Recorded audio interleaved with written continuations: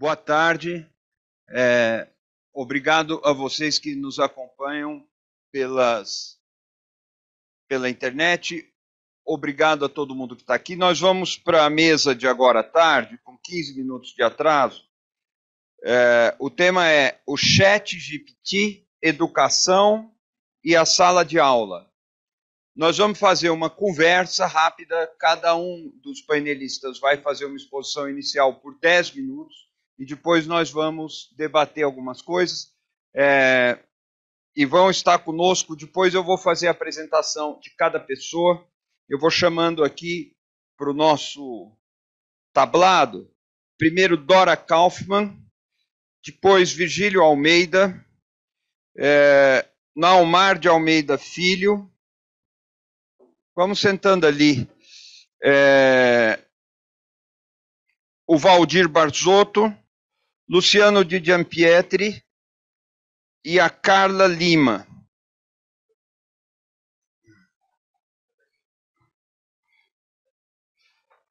Ah, então. Eu tinha calculado, vocês veem como é, é a nossa inteligência artificial. Eu tinha calculado seis lugares, porque eu contei errado ia sentar lá. Ah, então contei certo. Então, Virgílio, senta aqui e eu fico ali.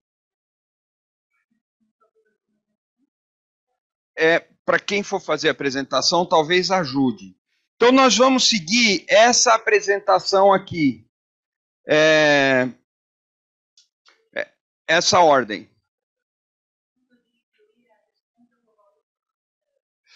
Ah, as perguntas devem vir para o IA responde, IEA, IEA responde, arroba, ponto usp, arroba usp.br. IEA responde, arroba usp.br.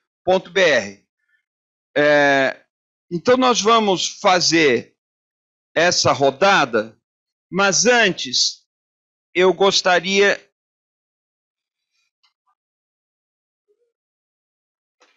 de citar uma coisa aqui. É, nós, neste seminário, estamos saindo, estamos elaborando um documento com alguns lembretes sobre esse tema específico, a educação e o chat GPT. São dez pontos, mas isso é algo em evolução, é algo que está sendo elaborado, mas eu gostaria de deixar alguns toques sobre esses dez pontos para a mesa para nos orientar um pouco. Então, a primeira recomendação é que o Chat GPT seja permitido e não banido, é, bem como softwares semelhantes. E a USP deve reforçar para a comunidade, em especial para os professores, professoras, a necessidade de se identificar e de se explorar melhor a maneira possível, é, da melhor maneira possível, os benefícios desse tipo de inteligência artificial para o ensino e para a pesquisa. Isso é uma primeira recomendação. Segunda recomendação, que seja feito um esforço de disseminação da compreensão das principais características desse é, artefato, que é o Chat GPT, e dos recursos semelhantes, que, como disse o Glauco, virão numa enxurrada assim como seu potencial para o desenvolvimento de novos métodos de ensino e de pesquisa, incluindo projetos, instrumentos de avaliação, gravação de podcasts e por aí vai. Terceira recomendação: que todo e qualquer uso desses modelos avançados de inteligência artificial contenha as fontes e referências bibliográficas. Essa questão é chave, que é a transparência do uso é, dessa tecnologia. Essa transparência permitirá a diferenciação entre o que foi produzido pela inteligência artificial e o que é específico é, do estudante, do pesquisador, da pesquisadora, da professora, do professor. Isso mantém, eu reitero, a transparência sobre a origem do conhecimento utilizado. Essa é a terceira recomendação. A quarta recomendação que vai emergindo desse seminário é que as atividades acadêmicas, os trabalhos escritos e apresentações tenham sempre sua autoria creditada às pessoas, membros humanos que compõem a comunidade, mesmo quando tiverem recursos tecnológicos utilizados, mas aí utilizados com transparência. Quinta recomendação: que a universidade oriente e elabore guias práticos referentes ao uso do ChatGPT e semelhantes para estudantes, tanto na graduação como na pós-graduação, conforme as possibilidades de impacto no processo de desenvolvimento do pensamento crítico e científico é, do, dos discentes. Sexta recomendação: que as unidades da USP incentivem os seus docentes a pensarem novas formas de ensino e de pesquisa, aquilo que já apareceu bastante na parte da manhã. Sempre procurando aprender com a criatividade da sala de aula, com o discernimento do corpo docente e discente e com experiência internacional, de modo que os recursos tecnológicos possibilitem a ampliação das capacidades humanas e não levem ao constrangimento dessas mesmas capacidades. Sete, que a comunidade busque formas e metodologias de avaliação em sala de aula que contribuam para que o uso dessas novas tecnologias não se dê de forma passiva, a crítica ou sem confirmação de seus resultados com fontes consolidadas e reconhecidas. Isso leva em conta que no atual estado da arte ainda não há ferramentas que permitam identificar de forma segura o que foi produzido por esse chat GPT ou semelhantes e o que não foi produzido por isso aí. Oitavo, oitava proposta, oitava recomendação, que a universidade elabore materiais de discussão sobre as questões de natureza jurídica decorrentes do uso do chat GPT. Notadamente do que se refere aos direitos autorais e à proteção de dados pessoais, já que não são citadas fontes utilizadas, como a gente sabe, e não é possível verificar se os dados e as informações pessoais foram coletados mediante consentimento eh, livre e informado. É, nono ponto, que o código de ética da USP seja atualizado por uma comissão especificamente criada para avaliar e acompanhar o uso de ferramentas de inteligência artificial para a escrita de trabalhos acadêmicos e para dirimir eventuais problemas éticos advindos do emprego de sistemas como esse Chat GPT. Décimo ponto, para finalizar, e eu acredito que esses pontos são muito úteis para o que vai ser falado aqui, que já são recomendações que vão emergindo desse seminário. Esta comissão essa mesma comissão que vai revisar o código de ética, poderá também ajudar a ampliar o debate na comunidade acadêmica sobre a evolução de novas tecnologias, seu uso e eventuais impactos no processo educacional, de modo a contribuir para o permanente esforço que a USP realiza para avançar como universidade, elevar o padrão de excelência de sua pesquisa, atualizar seus currículos e preparar estudantes e professores para lidar com as rápidas transformações do século XXI. É, são recomendações iniciais, como eu disse. Eu já passo aqui, então, a palavra para Dora. Você que começa. Na nossa ordem, nós estamos seguindo a ordem do programa. Então é Dora, Virgílio, Naumar, o Valdir, Luciano e a Carla. Tá? Então, Dora, eu,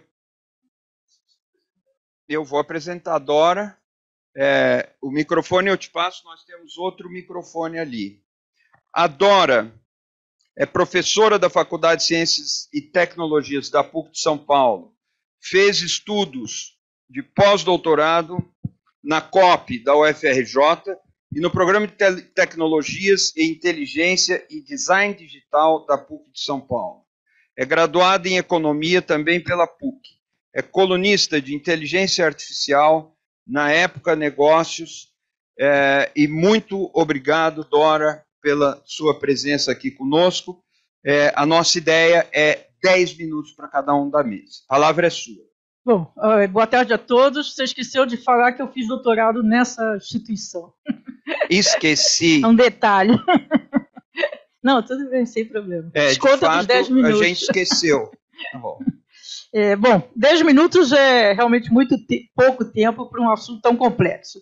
Eu vou, eu não pensei que eu ia começar, eu vou abordar é, um pouco o chamado que foi feito hoje pela manhã pelo professor Ari, pelo professor Glauco, e também reforçado pelo reitor na sua fala, na sua unidade de abertura, em relação como que a universidade poderia atuar, é, contribuir para a sociedade nesse debate que a gente está tendo, que na verdade transcende o chat GPT. Né? Tem vários, nós estamos falando de inovação acelerada, e que a todo momento nós vamos ter outro. Agora o hype da vez é o chat GPT, mas já daqui a pouco é outra. E eu, como é que a gente enfrenta essa, essa complexidade e velocidade é, do avanço da inteligência artificial? Eu, é, nas contribuições, assim, eu tenho, para organizar, eu tenho quatro propostas. Eu, eu vi que eu sou a única que não sou da USP, que não tenho vínculo atual com a USP, mas eu é, queria apresentar quatro propostas que eu acho que responde à convocação que foi feita, como apresentado, que era o propósito é, do evento. Bom, primeiro, é, parabéns, é, Eugênio e todos que elaboraram esses dez pontos, realmente eu acho que são plenamente de acordo, são os pontos mais importantes é, que a gente tem que tratar diante dessa, desse desafio. Bom, primeiro, eu, eu acho que a universidade, e principalmente a USP, né, por ser a USP, a, maior, a mais importante universidade do Brasil, eu acho que tem que assumir, assim, seria é, recomendado que assumisse um papel protagonista nesse processo. E aí eu começaria, é, um dos itens que foi citado, é, na revisão dos comitês de ética. Né? Eu tenho aqui um rápido, não é nada um estudo, algumas eu levantei que na, na USP é, tem oito comitês de ética, sete ligados, não sei se está correto ou não, foi uma, um levantamento que eu fiz, sete ligados à área de saúde. Né? Então, é, isso não é só uma questão das universidades brasileiras. Né? Stanford, por coincidência, tem também oito comitês de ética e sete ligados à área de saúde, e o oitavo de Stanford, eu sinceramente não entendi é, o que, que faz. É, eu tive recentemente, no primeiro semestre de 2022, é, eu tive uma, uma, uma pessoa que tinha acabado de defender a tese da UFRJ e apresentou numa disciplina minha o seu trabalho que era desenvolvido na Politécnica da UFRJ, um, um sistema aplicado à educação. E esse sistema foi validado pelo Comitê de Ética da Medicina, e a explicação da moça, é, da candidata, que se tornou já doutora, é que não tinha nenhum comitê de ética na UFRJ apto a avaliar. Bom, aí fica como é que um comitê de ética da medicina avalia um trabalho da Politécnica aplicado à educação. É, então, eu acho que essa questão de rever os comitês de ética, para mim, é, é, é, um, é estratégico, do ponto de vista da universidade, da USP, primeiro que ela vai, à medida que ela atualiza esses comitês, é, sob todos os pontos de vista, né? inclusive a composição, porque não adianta ter um comitê de ética é, da Poli só de desenvolvedores de tecnologia que vão avaliar os, os, as pesquisas que estão sendo feitas na Poli de IA. Esse comitê tem que ser diversificado, em suma, tem série de pressupostos na, na na participação e na atualização, né? porque esse é o grande desafio. E eu acho que isso vai servir de referência para outras universidades e também para a sociedade. Né? Eu acho que isso dá legitimidade para a USP de ela poder fazer as críticas justas que estão sendo feitas pela, pela comunidade acadêmica em relação às empresas, em relação ao governo, na ausência dos cuidados que deveriam ser tomados em relação a essa a desenvolvimento e ao uso dessa tecnologia. Então, acho que nada como mais legítimo dizer estamos trabalhando, criamos esses comitês de ética com esses princípios, dessa forma, e isso é uma. Eu acho que vai resolver grande parte dos problemas. Bom, segunda proposta, que, que segunda sugestão, não é né, proposta, não estamos numa assembleia, é uma a segunda sugestão é que eu acho que é, eu estou acompanhando bem de perto o, o processo de regulamentação, é, tanto na, na Europa, nos Estados Unidos e, e também aqui no Brasil.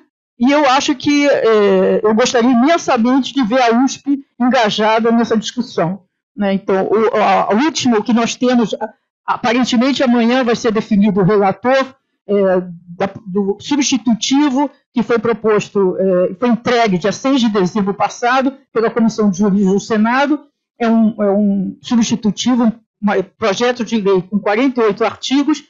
Na minha opinião, é, muitos são viáveis.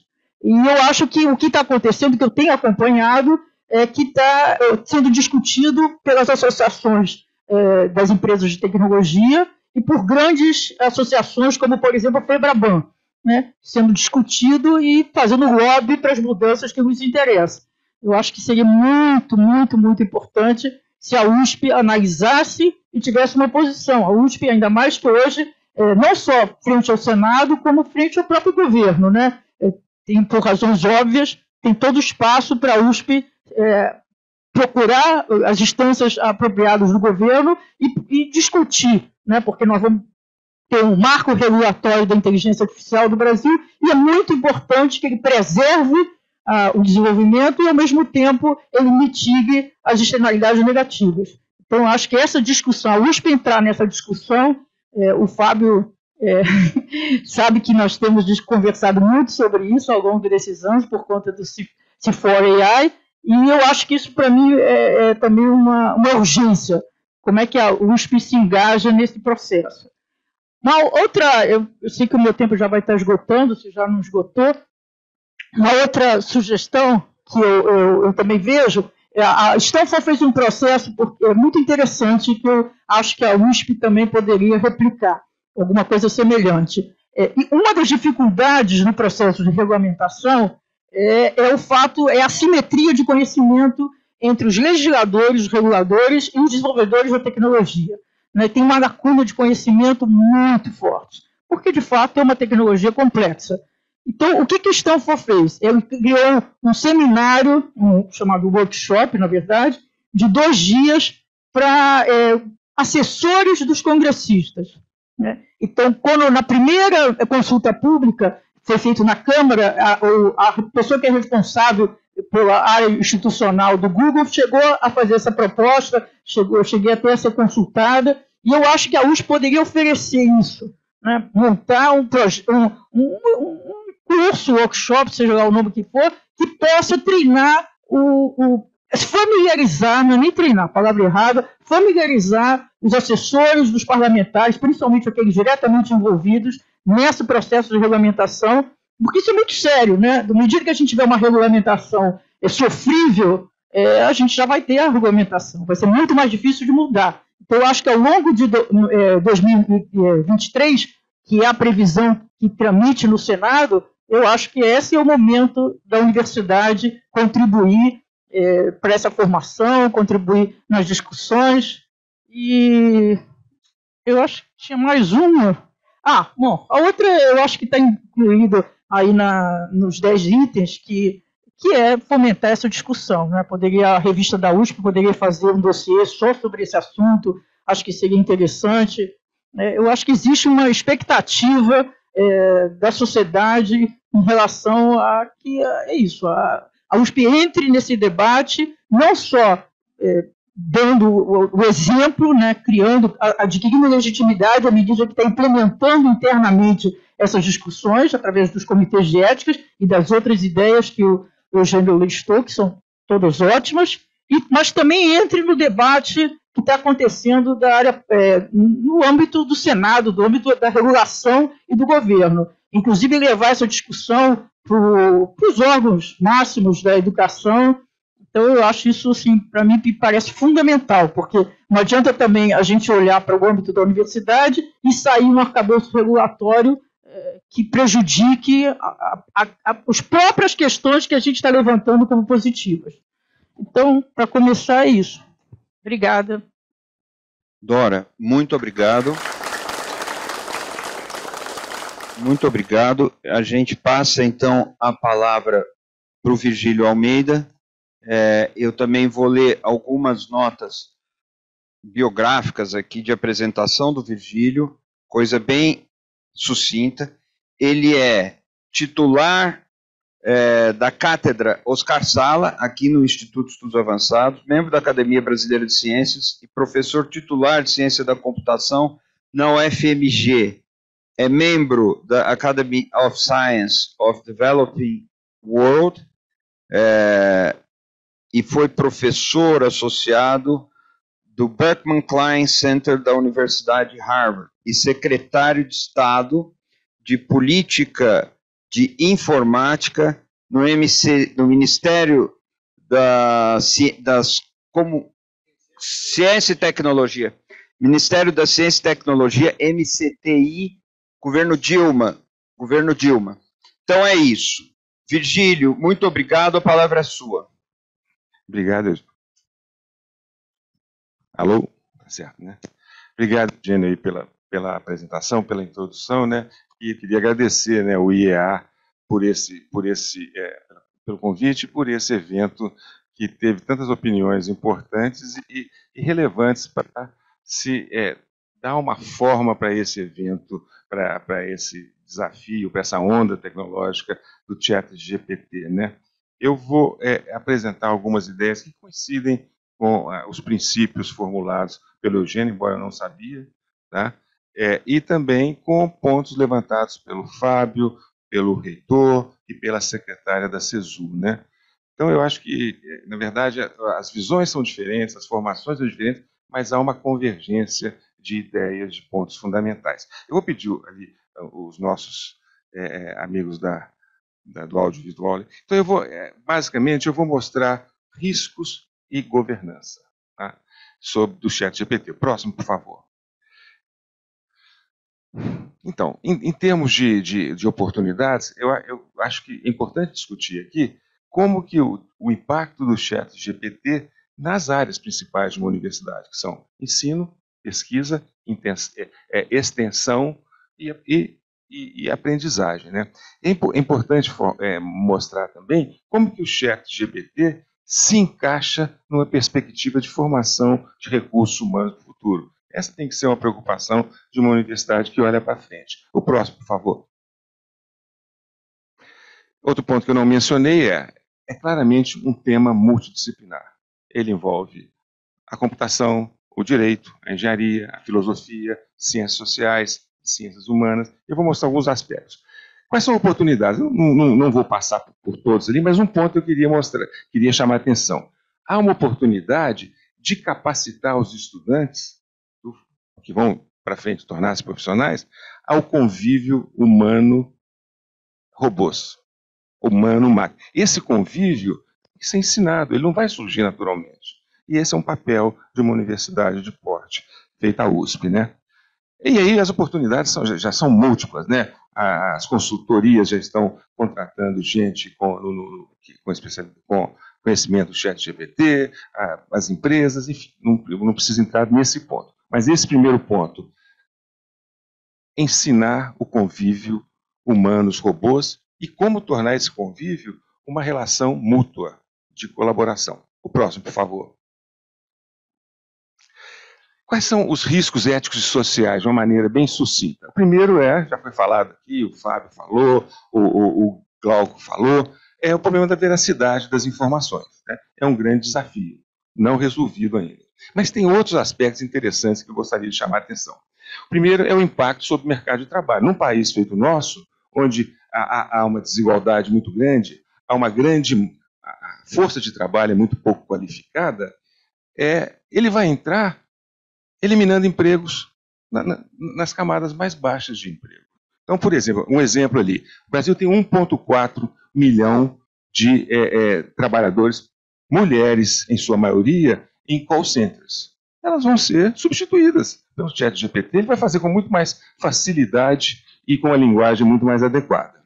Outro ponto que, que já foi mencionado, eu não, eu não, vou insistir, é a questão do, da preocupação ética sobre plágio e autoria. Mas tem pontos que tocam a, as instituições como as nossas, que é o risco de enfraquecimento de instituições tradicionalmente vinculadas a produção de informações e conteúdo. O que é a universidade?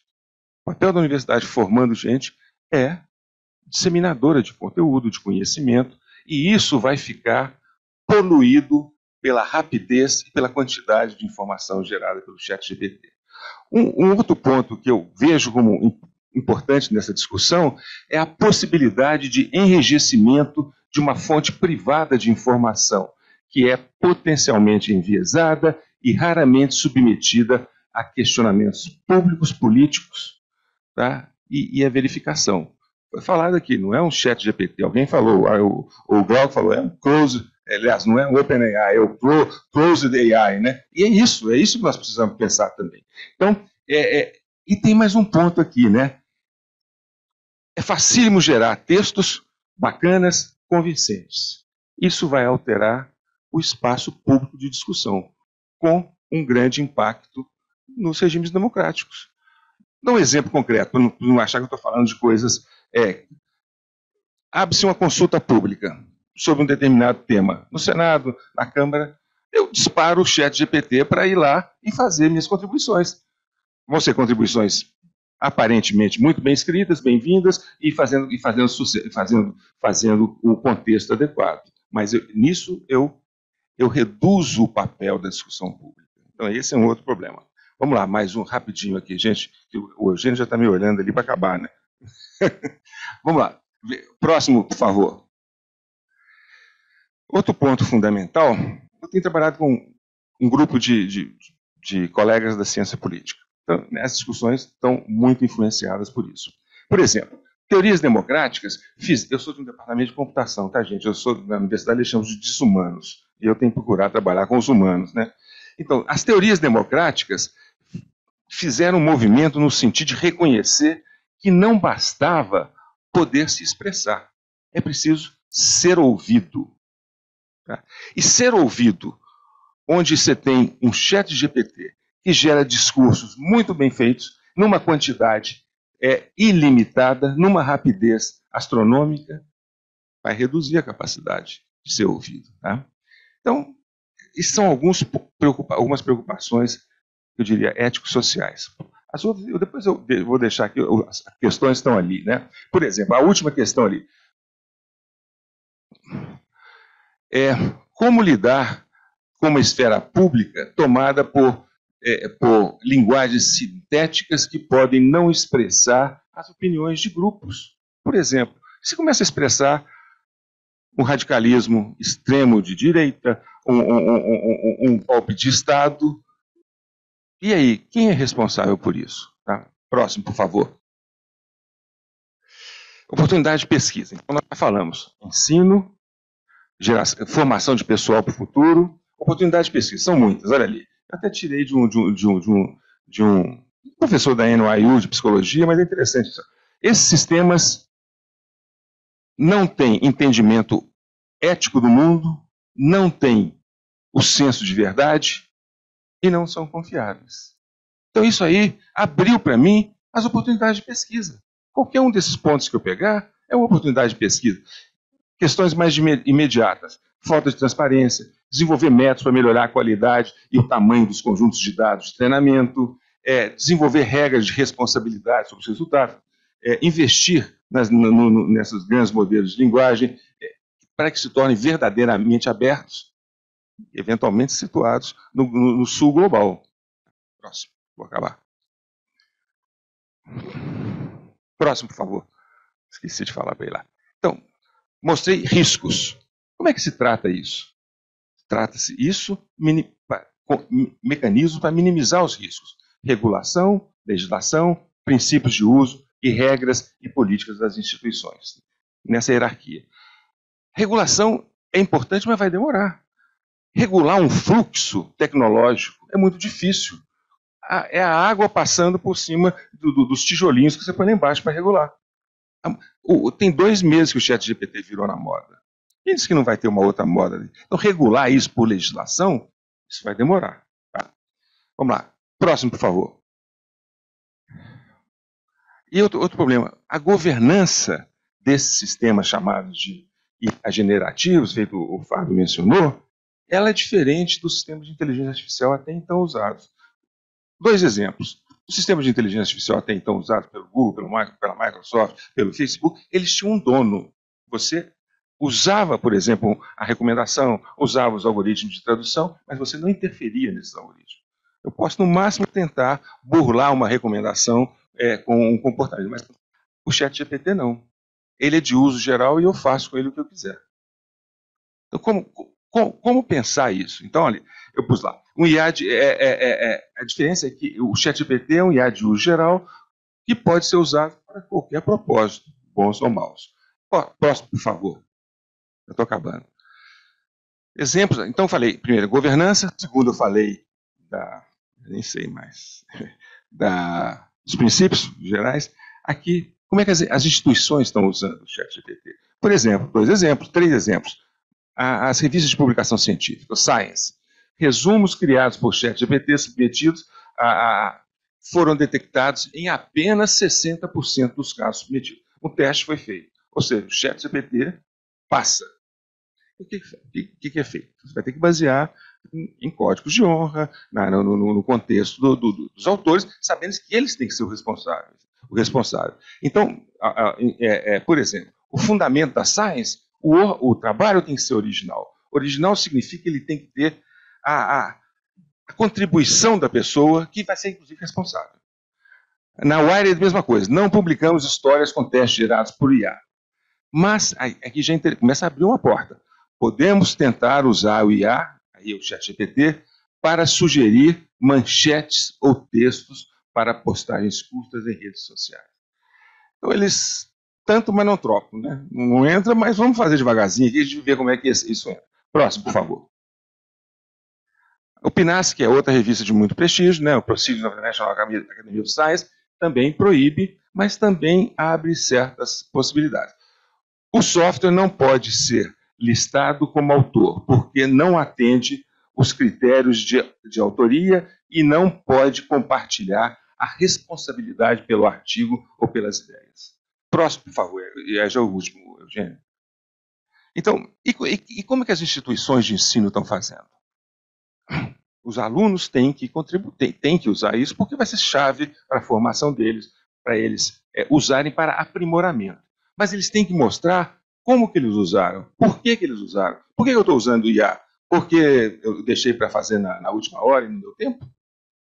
Pode ser uma razão, eu posso não, não gostar dessa razão. Mas eu tenho que ter, eu acho essa ideia interessante, algumas vezes, um dossiê atribuído ao, ao, ao, ao trabalho prático, ao ensaio, explicando por que, que eu usei, em quais sessões que ele fez, qual a contribuição, eu vou ter que relatar isso. E, mas tem um ponto importante que eu acho que o Eugênio não mencionou. Os professores têm que ser treinados em, em chat GPT. Você mencionou isso? Pois é, se eles não são treinados, como é que eles vão corrigir alguma coisa? Como é que eles vão saber o que, o que, que veio? Do... Vocês não vão saber nem usar os detectores de, de, de, de, de, de texto gerado. Então, prof... essa, essa formação do chat GPT passa simultaneamente ou até prioritariamente sobre os alunos, dos professores. Tá? Próximo é, é o último, eu acho. Ah, alguns países, cheguei em, governança geral, alguns países estão usando exemplos de regulação. A Índia, a China, por exemplo, tem um exemplo.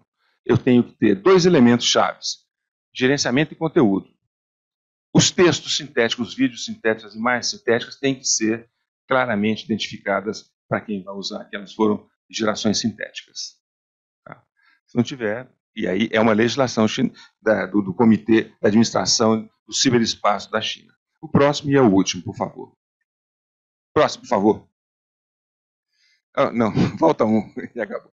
Desafios do futuro. Esse seminário do, do IEA vai nessa direção. Então, eu, eu peguei um trecho de, da, de, da, da, assessora do presidente Biden para Ciência e Tecnologia, que é uma professora de Princeton, do Instituto de Estudos Avançados, da área de Ciências Sociais, a, a Londa Nelson. E ela fala o seguinte: a nova ciência e tecnologia são dinâmicas, de uso duplo, comercial, não comercial, é, militar, civil, de uso duplo, e ultrapa ultrapassarão a regulamentação.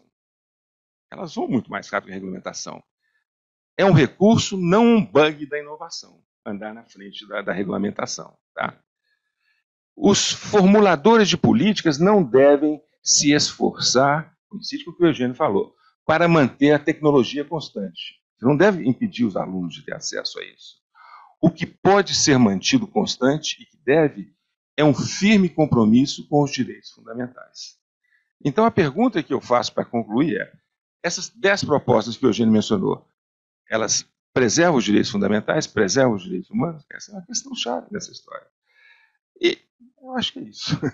Obrigado.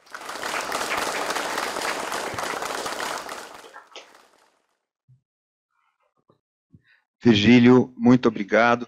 Eu sei que já está fervilhando na cabeça de vocês que acompanham aí de longe e das pessoas presentes uma série de questões. Eu agradeço muito pela observância é, dos 10 minutos, que são cruciais para nós. Eu passo a palavra em seguida, então, e reitero que as apresentações das pessoas aqui são muito sucintas, elas são apresentações de três linhas, quatro linhas. Essas pessoas aqui têm dois tomos de currículo cada um, então nós estamos reduzindo. Vou apresentar o Naumar de Almeida Filho, titular da Cátedra de Educação Básica do IEA, é professor titular de Epidemiologia na UFBA, na Federal da Bahia, foi professor visitante na Universidade da Carolina do Norte, na Universidade eh, de Berkeley, na Califórnia, e na Universidade de Montreal, na, e na Uni, Montreal e na Universidade de Harvard. Naumar, palavra é sua, muito obrigado. Bom, eh, obrigado, Eugênio. Queria agradecer o convite, parabenizar o IA pela iniciativa. Eu posso até dizer que atrasou um pouquinho, a gente podia já estar há um mês atrás começando a discutir esse, esse tema. É, eu, só para é, compartilhar com vocês, é, numa perspectiva até um pouco diferente que é, tanto Dora quanto Virgílio trouxeram, é, vou contar em cinco minutos é, um dos meus contatos mais interessantes com o. Eu não sei se é ele, ela, com esse ser, né, chamado o, o chat GPT, né? Aí, eu perguntei isso aqui que eu estou mostrando, né? Pedi para revisar a história dos institutos de estudos avançados nas universidades modernas. Viu, Ari? O texto que saiu, eu posso depois compartilhar com vocês, está aqui, é muito bom. É, é, assim, no nível de um jornalismo científico de altíssima qualidade, bem, muito bem escrito. Aí eu perguntei, e a história dos institutos de estudos avançados no Brasil? Também muito bom. Olha aqui, ó. É, é o Instituto de Estudos Avançados da USP, fundado em 1962, confere. Né? Aí. É, então errou. 86. Então, olha aí, é um erro. Mas o, o texto está bem, aí fala do, de Campinas, é, erra também o de Minas, que não chama de estudos avançados transdisciplinares. Né? Aí tudo bem. pois bem, aí eu perguntei, e olhem que interessante quem tem estudado a história dos institutos. Aí ele me dá assim, é uma maneira de você bulir com ele e não pedir fontes, porque se você pedir fontes ele vai dizer que não pode, não tem. Aí eu perguntei quem tem estudado. Me apresentou George D. E. Philipson. No seu livro, The Institute for Advanced Study, Its History and Contributions. Como está aí, vocês estão vendo o diálogo. Mary Jo Nye, uma historiadora da ciência, escreveu extensivamente sobre a história dos IEAs, é, no, incluindo no seu livro Before, Before Big Science: The Pursuit of Models, uh, Modern Chemistry and Physics. Depois, Helga Nowotny, né? É, socióloga da ciência, no seu livro The Cunning of Uncertainty. E Philippe Sormani, é, é um historiador da ciência que escreveu sobre a história dos IEAs no Brasil. Né? No seu livro Institutos de Estudos Avançados no Brasil. Ele faz uma história detalhada e tal. Aí eu perguntei, na deixa, né? Quem estudou a história dos institutos no Brasil? Primeira citação, Felipe Sormani, Ricardo Weisbort, Luísa Massarani, Marta Rovai e os títulos dos livros. Né? E aí eu fiz, como eu falei de manhã, é, é uma uma busca nesses buscadores eh, existentes, né? E com algum conhecimento, checando as informações. E só, só para mostrar a vocês, é, esse George de Philipson eh, não tem referência nenhuma em lugar nenhum, né? É, Nai tem, Mary Jo Nye. O livro é Before Big Science, mas não tem nenhuma citação a Instituto de Estudos Avançados nesse livro Before Big Science. O Philippe Sormani, esse é mais interessante porque é, eu, quando eu fui buscar na história, é, é na história dos IAs no Brasil, é, faz uma, dá uma ficha do Felipe Sormani, que inclusive o Felipe Sormani é, esteve no Brasil, segundo ele, no Instituto de Estudos Avançados. E foi professor e escreveu extensivamente. Aí eu fui procurar o Felipe Sormani, de fato ele existe, é, mas não, nunca escreveu nada sobre história de institutos avançados, e muito menos no Brasil. E aqui a informação que ele dá é que, inclusive, trabalhou durante muitos anos em várias instituições brasileiras. O Ricardo, é, eu conheço o Ricardo Weisbort, é do, da Fundação Oswaldo Cruz, é um historiador de ciência no Brasil. É, a, tem a Luísa é, Massarani também. Agora, o do Ricardo é curioso, que o, o chat GPT atribui um livro que eu fiquei super curioso pelo livro. É, o livro chama-se, olhem aqui, O Efeito Pinóquio, Estudos Avançados e a política cultural no Brasil. Né? O Ricardo nunca escreveu esse livro. Aí eu fui procurar, não existe esse livro. Eu acho que está precisando ter esse livro, porque o título é fantástico. Chat GPT, o nariz de Pinóquio, etc. Né? Aí. Pois bem, é, a súmula disso, eu já estou me encaminhando para finalizar. Aliás, eu tenho já algumas semanas, né, teve um dia que fiquei até de madrugada, me distraindo, conversando, realmente é, é fantástico. E, e, tem algo que o Fábio falou, é esse, esse, essa, este, esta, é, esse ser, né? Aí foi educado para não dizer não a ninguém.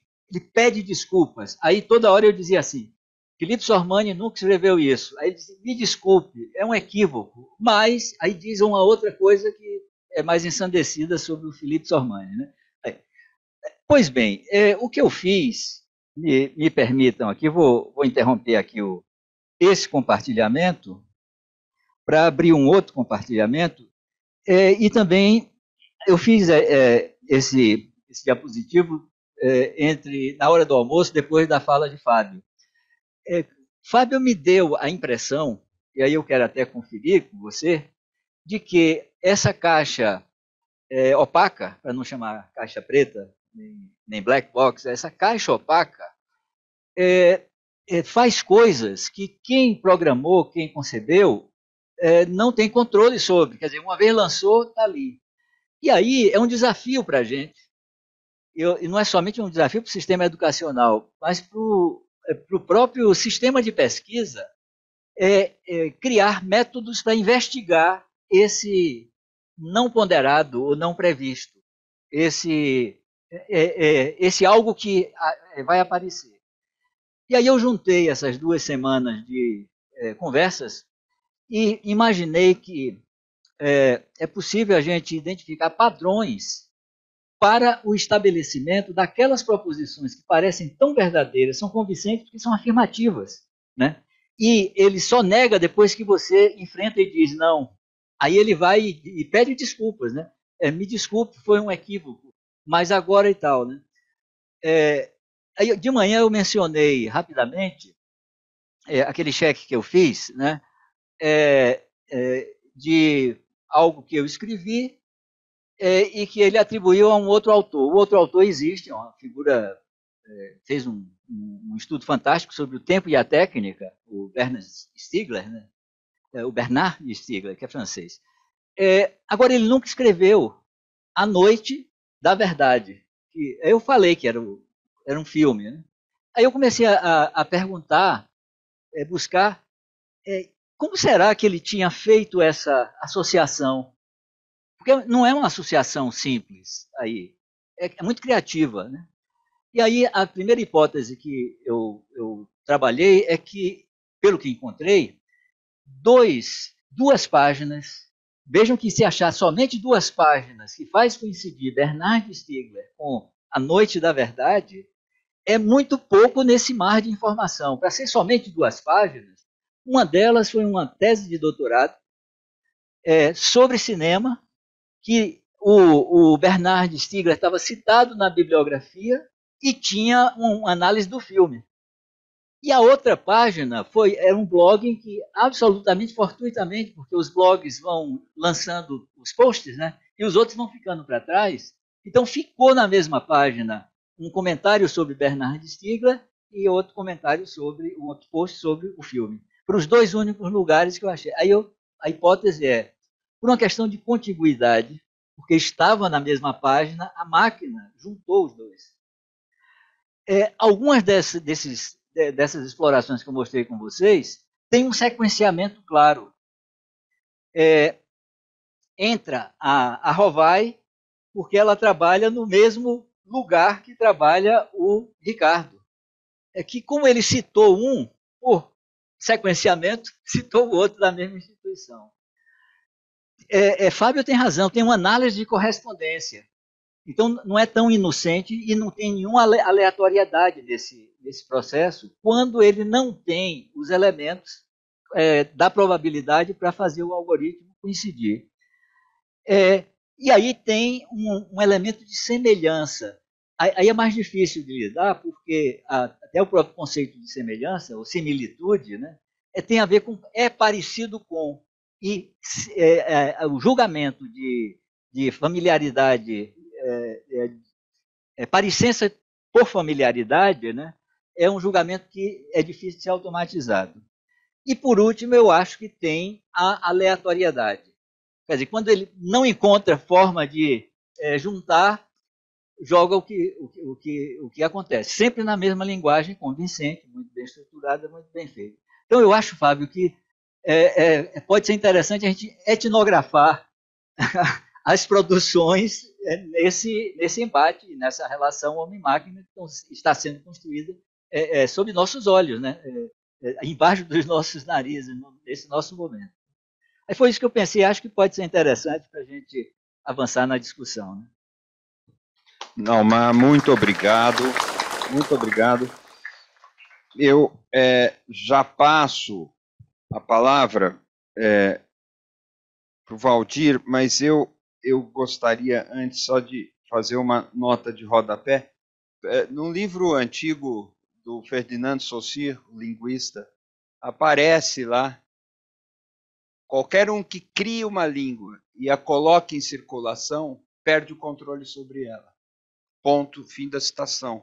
Valdir Heitor Barzotto, professor titular e atualmente vice-diretor da Faculdade de Educação da USP. É presidente de honra da Associação Internacional de Pesquisa em Graduação em Pedagogia. Foi presidente da CCINT USP, outra sigla é, que eu não sei decifrar. É aqui da USP, mas CCINT é o quê? É a Comissão de Internacionalização da Faculdade de Educação. Isso. Pode pular essa parte, eu prefiro usar esse tempo para falar aqui do que. Não, é, mas não está contando o tempo. Esse aqui é ah, tudo tá bom, mas é, isso aí é mais para o parecerista do CNPq. É, mas essas siglas essas são. E realizou estudos de pós-doutorado na Universidade Paris 8. Valdir, muito obrigado, a palavra é sua. Obrigado. Eu agradeço muito o convite que foi feito à direção da Faculdade de Educação e agradeço à diretora Carlota Boto por ter me confiado essa tarefa de falar aqui, é, mas pelo fato de que eu sou especializado né, no ensino de leitura e de escrita e ministro na Faculdade de Educação, tanto para a graduação quanto para pós, é, disciplinas que tematizam a escrita acadêmica.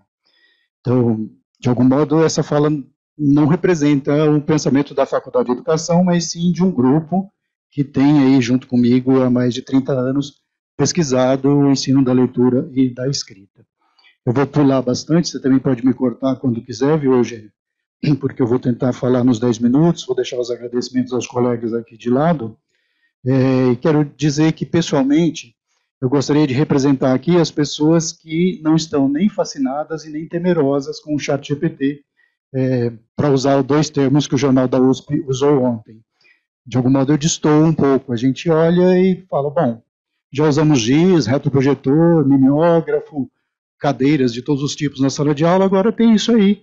Vamos sofrer cursos e mais cursos para sermos treinados, como disse o colega, mas é algo que está aí, não, não é para correr, não é para ter medo, não é para negar, não é para nada. É, além de pesquisar e, e, publicar, a gente criou, lá na década de 90, um movimento que defende o direito de todas as pessoas que ingressam na universidade de pesquisar e defender por escrito o resultado da sua pesquisa.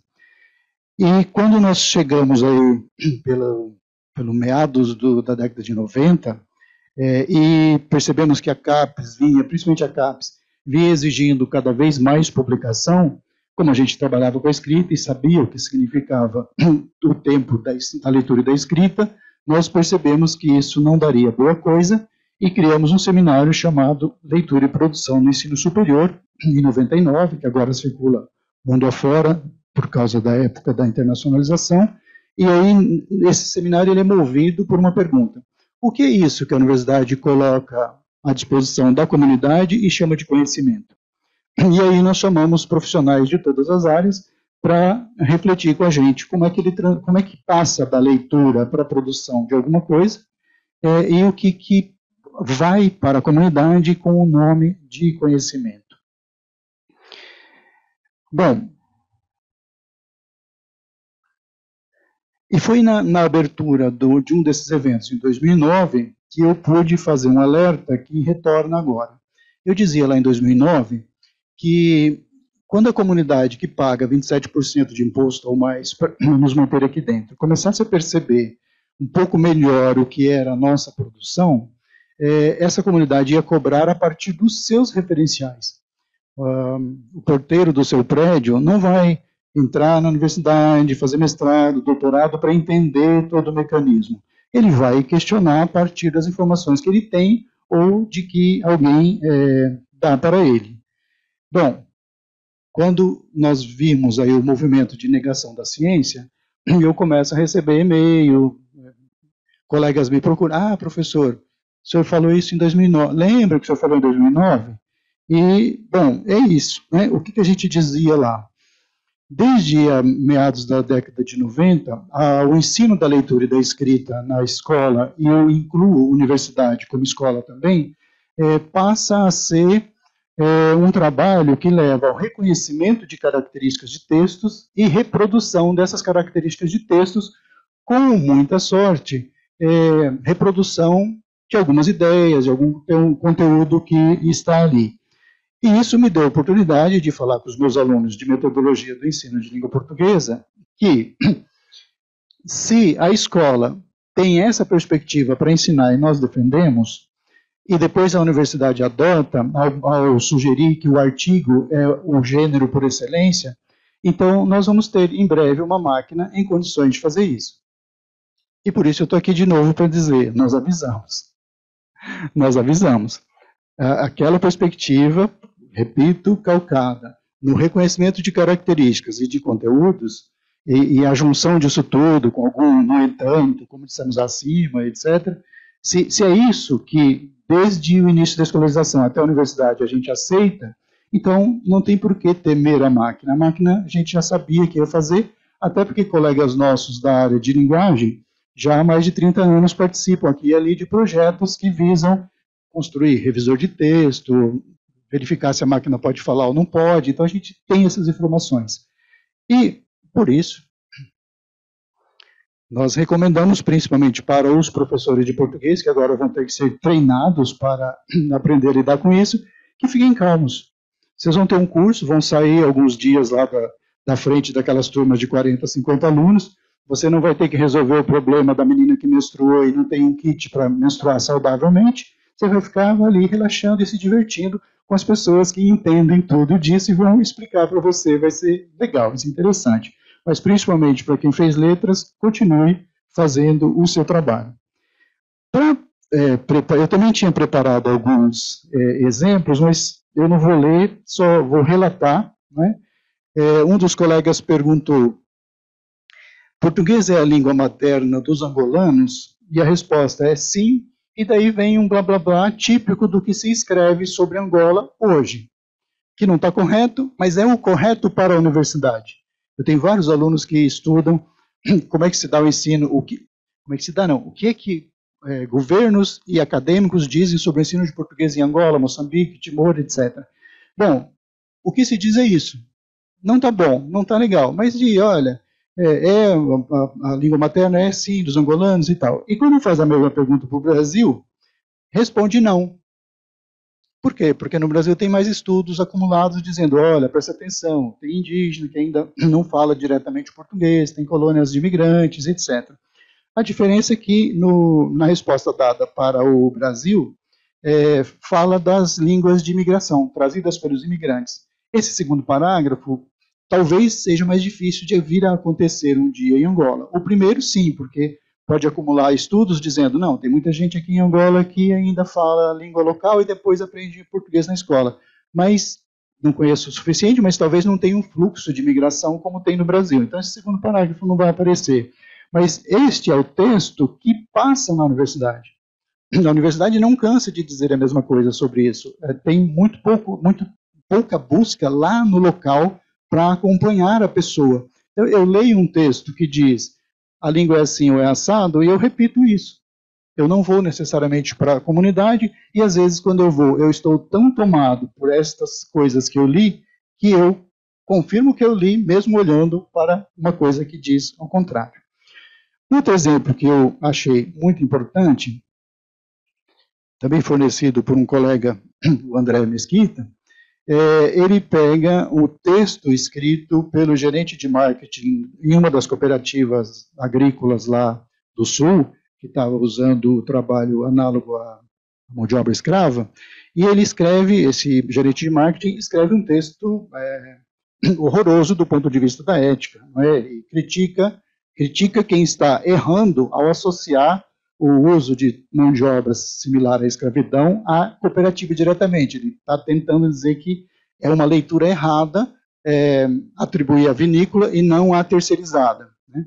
E aí um youtuber coloca o mesmo texto do gerente de marketing no chat GPT e pede uma reescrita acrescentando os elementos para melhorar o texto. E o que é que o, o, o chat faz? Ele, ele insere ali frases do tipo: lamentamos profundamente o ocorrido, estamos tomando todas as medidas necessárias para garantir que isso não se repita, nós não toleramos e nunca toleramos. Ele injeta essas frases lá, o texto fica correto e agrada, inclusive, aos acadêmicos e agrada a nós que votamos nos mesmos políticos que sempre dizem isso, mas não necessariamente buscam solução para o problema. O que me incomoda aqui não é a capacidade do planejador fazer com que a máquina diga isso. O que me incomoda é que o, youtuber, neste vídeo que eu vi, basicamente ele concorda que esse segundo texto é bom. Por quê? Porque ele toma a palavra como ato. Então, declarou-se aqui, olha, reiteramos nosso compromisso com a ética e responsabilidade social, ele toma essa declaração como ação no mundo real. E é, e é isso que nós esperamos. Nós tivemos um político recentemente que só não emplacou de fato para uma segunda eleição porque não soube fazer esse papel. Não soube vir e dizer: estamos fazendo todos os esforços para enviar as vacinas no tempo adequado para Manaus e etc. Ele não, não, não conseguiu, não estava aparatado para dizer isso. E por isso ele, ele foi rejeitado, não necessariamente por uma ideologia toda que ele representa. Então, isso, isso tem nos incomodado há muito tempo.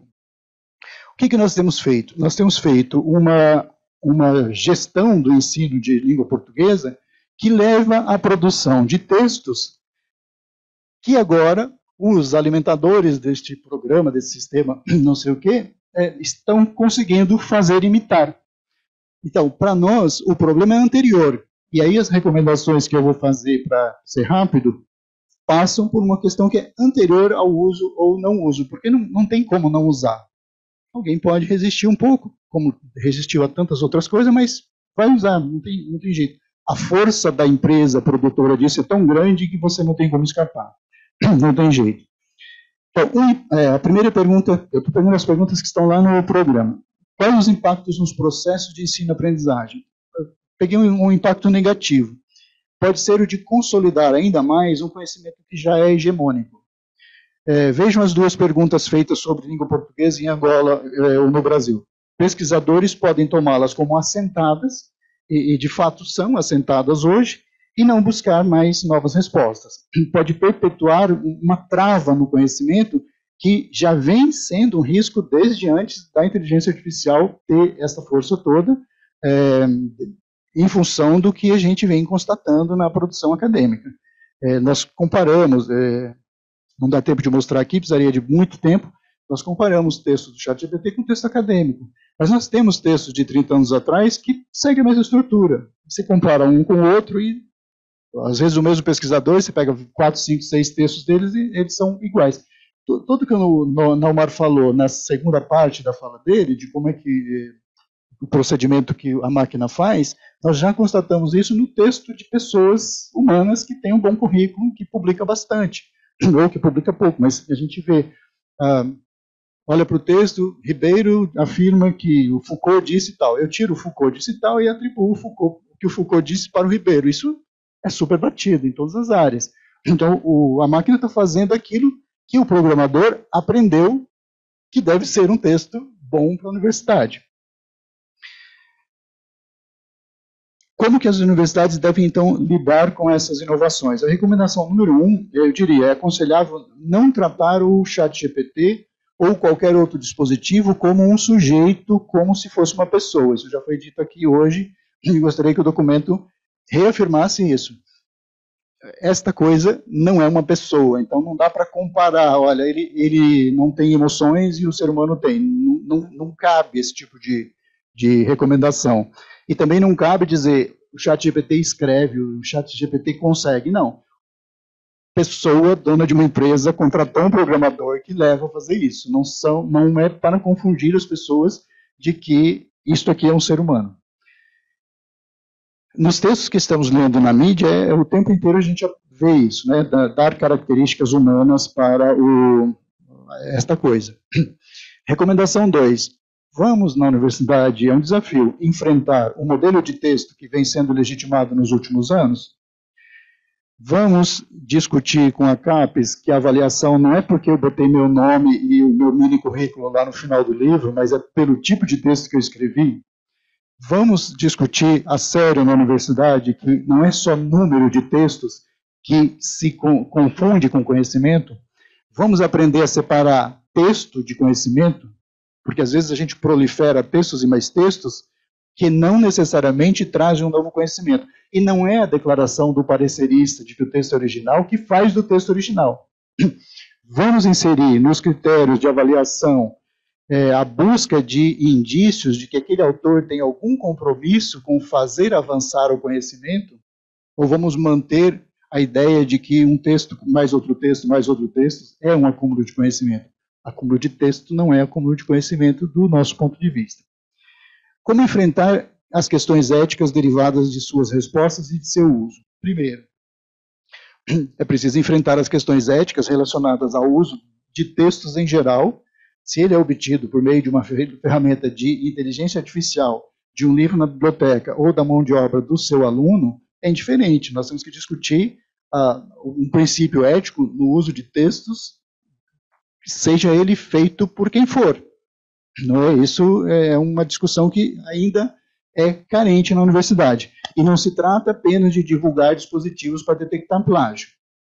Porque se o, se o autor alinhou várias citações com sobrenome, ano e página, mas ele não fez nada para que essas citações funcionem no sentido de levar a dizer alguma coisa a mais na sua pesquisa, isso não tem diferença de plágio. Só está formalmente correto, mas não, não é necessariamente produção de conhecimento. Segundo modo de enfrentar as questões éticas, que se coloca, então, como critério a busca nos textos desta, a, a, deste compromisso com a humanidade de fazer avançar o conhecimento. Terceiro, não tratem as regiões postas à margem com preconceito. A história da humanidade mostra que seres humanos podem aprender e produzir soluções em todos os pontos geográficos. É, os textos que eu andei lendo, eles são muito é, efetivos em, em dizer isso. Em algumas regiões a gente não pode produzir, tem que tomar mais cuidado e, principalmente, tratar o professor como alguém que não sabe. Isso a gente já conhece, os professores já conhecem. Toda e qualquer coisa nova que aparecer, o professor é tratado com preconceito. Ele não é um ser considerado capaz de entender isso sozinho, ou com os jovens, que são muito mais antenados na, na, na tecnologia, e aí ele deverá ser submetido o tempo inteiro a treinamentos e cursos e etc. Precisamos ah, encontrar uma outra forma de trabalhar junto com as escolas para que o trabalho seja produtivo. Senão, o professor vai continuar fazendo o que ele sempre fez. Ele olha mais um intelectual, mais um funcionário de ONG, vindo aqui ensinar como resolver o problema, mas ele não sabe de fato onde está essa escola, o que, que essa escola faz, quem são essas crianças. Então, isso também já cansou. Obrigado. É, não quero te cortar, não, mas né? terminei. Não. Terminei. Ah, tá. Muito obrigado. Muito, muito obrigado, Valdir. É, eu já passo, então, a palavra para o Luciano de Giampietri, é, que é assessor da Pró-Reitoria de Pós-Graduação, tem livre docência pela USP, é professor associado da Escola de Artes, Ciências e Humanidades da USP e orientador de pós-graduação em Sistemas de Informação na EASH. Muito obrigado, Luciano. A palavra é sua, a gente tem tentado os 10 minutos aí, tá? Muito obrigado. Queria agradecer não só em nome da Pró-Reitoria de Pós-Graduação, né, ao IEA que organizou esse evento, a todos que aceitaram o convite e em especial a todos que estão aqui assistindo presencialmente online. Né, nem todos sabem, né, mas no começo do ano a gente foi é, desafiado pela reitoria a justamente discutir isso, né, discutir o chat GPT e aí como um todo dentro da universidade e, e formar essas diretrizes. E, então é um prazer enorme estar aqui com tanta gente especializada e ouvindo tantas perguntas pertinentes para a gente justamente discutir isso para poder criar essas novas diretrizes, que é um desafio nosso, um desafio que a gente comprou, porque a gente entende que a USP precisa disso e a sociedade brasileira precisa disso e a USP pode colaborar.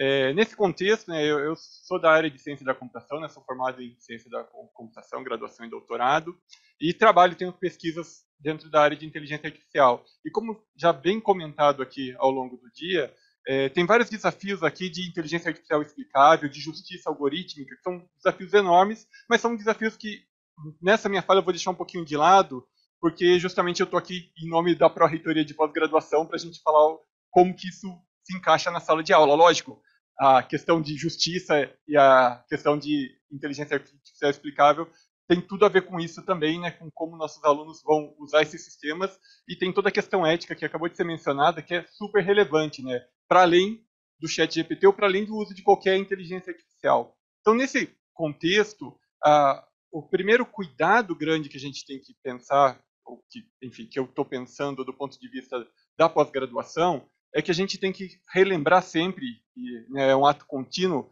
aos nossos alunos o cuidado com a informação, o que acabou de ser dito agora, né? Quando você menciona uma informação, cita uma informação, por que, que ela está lá? Qual foi o pensamento crítico em torno dela? O que, que ela está colaborando com o seu trabalho?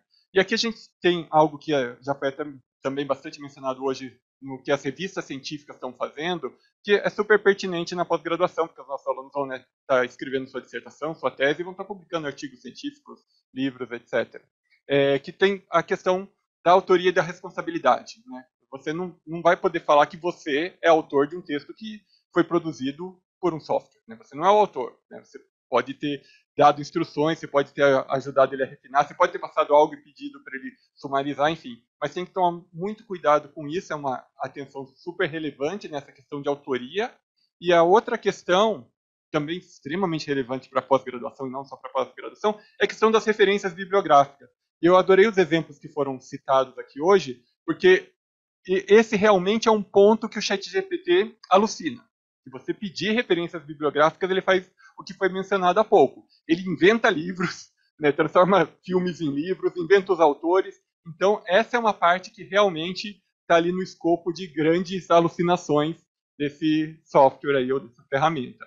Então, uh, e dentro do trabalho né, de um pós-graduando, né, já estou aqui né, novamente em nome da Pró-Reitoria de Pós-Graduação, é, você precisa muito de referências bibliográficas. Né? Você precisa das referências para justificar a importância do seu trabalho, você precisa de referências é, para mostrar o que já foi feito em relação àquilo, inclusive para mostrar o que está te inspirando para o trabalho que você está desenvolvendo e para mostrar em particular qual é a diferença do que você vai fazer do que foi feito.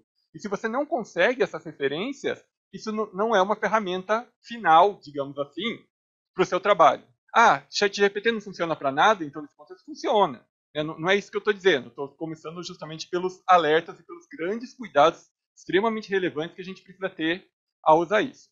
É, agora, do ponto de vista do que pode ser positivo, né, eu tenho acompanhado, né, desde de que o chat foi lançado, até por ser professor na área, é, tenho usado ele de diferentes formas, assim como vários dos colegas, e inclusive eu tenho um filho de 9 anos, eu deixei ele usar, supervisionado por mim também, o chat. Então eu tenho a experiência de uma criança usando o chat e tenho a experiência de é, um primo meu que está fazendo doutorado que fez perguntas super especializadas sobre o doutorado dele para o chat. Então, uma gama grande, várias questões que eu fiz também, inclusive pedi para ele montar o meu perfil, né, a minha, é, meu perfil bi, biográfico, né, montar uma mini biografia minha, como os outros colegas também já apresentaram, e ele errou várias coisas, acertou algumas, exagerou em outras. E eu também tenho a experiência, que eu acho que vale a pena, né, todo mundo vai experimentar, passar por várias gamas, inclusive de fazer perguntas do tipo, é bolacha ou é biscoito? Acho que é super válido, né, quando a gente está experimentando esse software também, fazer qualquer tipo de pergunta para entender é, o, o que, que, ele faz e tentar entender, entre aspas, o raciocínio dele, que é justamente né, como que essas probabilidades foram montadas, que informação foi usada. E nesse contexto, é, eu vi algumas coisas bastante interessantes, né, de ele de fato conseguir ajudar você a discutir, por exemplo, seu trabalho de pesquisa. Ele fala, olha, é, as pessoas estão fazendo isso, não estão fazendo isso. Algumas informações eram corretas, outras não. O bom de, da pessoa que está perguntando ser um especialista do assunto ou está trabalhando bastante com o assunto é que, de fato, algumas questões são levantadas, você fala, puxa, será que faz sentido? E você vendo as respostas com esse senso crítico, isso pode ser útil para daí sim você procurar referências e se aprofundar no assunto. Então ele pode ser uma ferramenta muito útil também, mas com todos os cuidados que são que foram apresentados. E muitas vezes ele se comporta como um oráculo e as pessoas estão tratando ele como um oráculo, né? um oráculo da antiguidade, que você faz uma pergunta, ele te dá uma resposta eventualmente vaga e você fala, nossa, que coisa. E aqui a gente tem que tomar os mesmos cuidados que a gente vê nas histórias sobre oráculos. Né? Se você faz uma pergunta errada, aquela resposta pode ser terrível para você no futuro. Então é importante a gente também entender se a gente vai usar ele como uma ferramenta, como que ele funciona. Tanto os nossos alunos, como nós, professores. Então acho que fica aí também parte da dica. Né? A, a gente já tinha lido e discutido as diretrizes que foram apresentadas, por isso eu não vou dar novas diretrizes, porque justamente as pró-reitorias participaram também desse processo. Mas fica a dica que, para quem quiser e puder, né, para os nossos docentes, para os nossos alunos, é super importante a gente fornecer ferramentas que ajudem eles a tornar aquilo produtivo, útil, tomando todos os devidos cuidados é, informando sobre as limitações. É, e, em particular, é, uma coisa que também foi dita hoje, tem muitas empresas que estão usando isso de uma forma a, a, a, princípio muito produtiva, no sentido de produtividade. Né? A gente tem que tomar também muito cuidado o quanto essa produtividade está ajudando ou está impactando na sociedade. Mas, novamente, eu trabalho com desenvolvimento de software, né? meus alunos, na verdade, trabalham com desenvolvimento de software, e tem várias empresas e vários alunos que trabalham nessas empresas que já relataram que eles conseguem usar o chat justamente para fazer módulos simples do que eles estão desenvolvendo de uma forma muito mais rápida do que eles fariam. É lógico que a gente tem que tomar todo novamente a preocupação de, puxa, mas será que ele está pegando isso de alguém que não poderia estar tá pegando? Será que aquele código tinha uma propriedade intelectual que não está sendo revelada ali, etc. Mas, de fato, as pessoas conseguem, em algumas ações, em algumas funções, serem mais efetivas usando o chat. Né? Foi comentado aqui também de, ah, eu tinha uma tabela grande, pedi para o chat escrever ela com texto, funcionou super bem. Quer dizer, tem várias funções, muitas vezes, dessas que seriam mais braçais para a gente estar tá fazendo, que o chat é muito bom. Né? Então a gente tem que tomar muito cuidado com o que a gente pode usar, o que a gente não pode. Eu acho que a nossa função aqui na universidade e nas pró-reitorias em particular, é justamente passar né, o que pode, o que não pode, como usar o, e justamente onde que você consegue ganhar usando. Lembrando, também que já foi comentado aqui, que a sociedade vai cobrar isso da gente de várias formas, né? como produtores de conhecimento, divulgadores de conhecimento, mas também como formadores de pessoas que saibam usar essas ferramentas da forma correta e da forma produtiva. Né? Então, acho que a nossa função aqui de, de todos nós, mas em particular das pró-reitorias, é justamente ajudar dessas direções para ajudar a não é treinar, né? Acho que não, treinar acho que não é uma palavra correta, mas justamente para passar toda a informação necessária para aquele que está querendo aprender a usar, para aquele que está tá querendo é, aprender as limitações, está querendo aprender as vantagens, tanto alunos quanto os docentes, porque né, a gente já tinha um, um, desafio antigo de plágio, por exemplo, né, de E que, novamente, é uma exceção, não é regra. A gente tem que tomar muito cuidado né, com,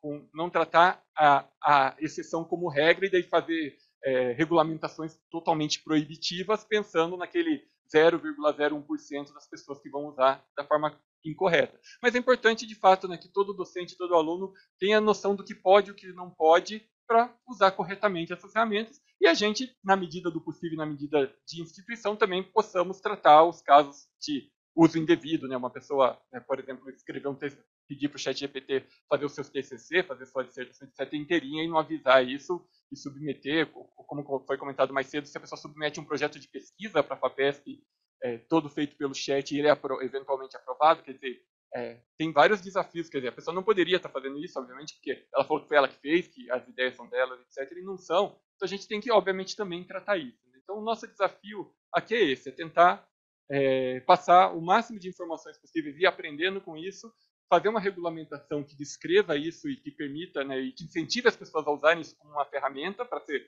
algo positivo, né, tentar extrair o positivo disso, assim como de qualquer outra técnica ou tecnologia que a gente tem vivido ao longo da, das últimas décadas. Então, é para isso que a gente está aqui e justamente cada uh, palestra a gente aprende muito, né, cada palavra a gente aprende muito, e as questões que são levantadas por vocês também nos é, ensinam muito e nos abrem novas questões que a gente sabe que tem que tratar como instituição. Então, na verdade, só queria agradecer, né, tanto ter sido convidado, como a presença de todos aqui, e ficar à disposição, que a ideia da Pró-Reitoria de Pós-Graduação é essa, tentar aproveitar da melhor forma possível e ajudar a comunidade a se desenvolver. Obrigado. Muito obrigado, Luciano.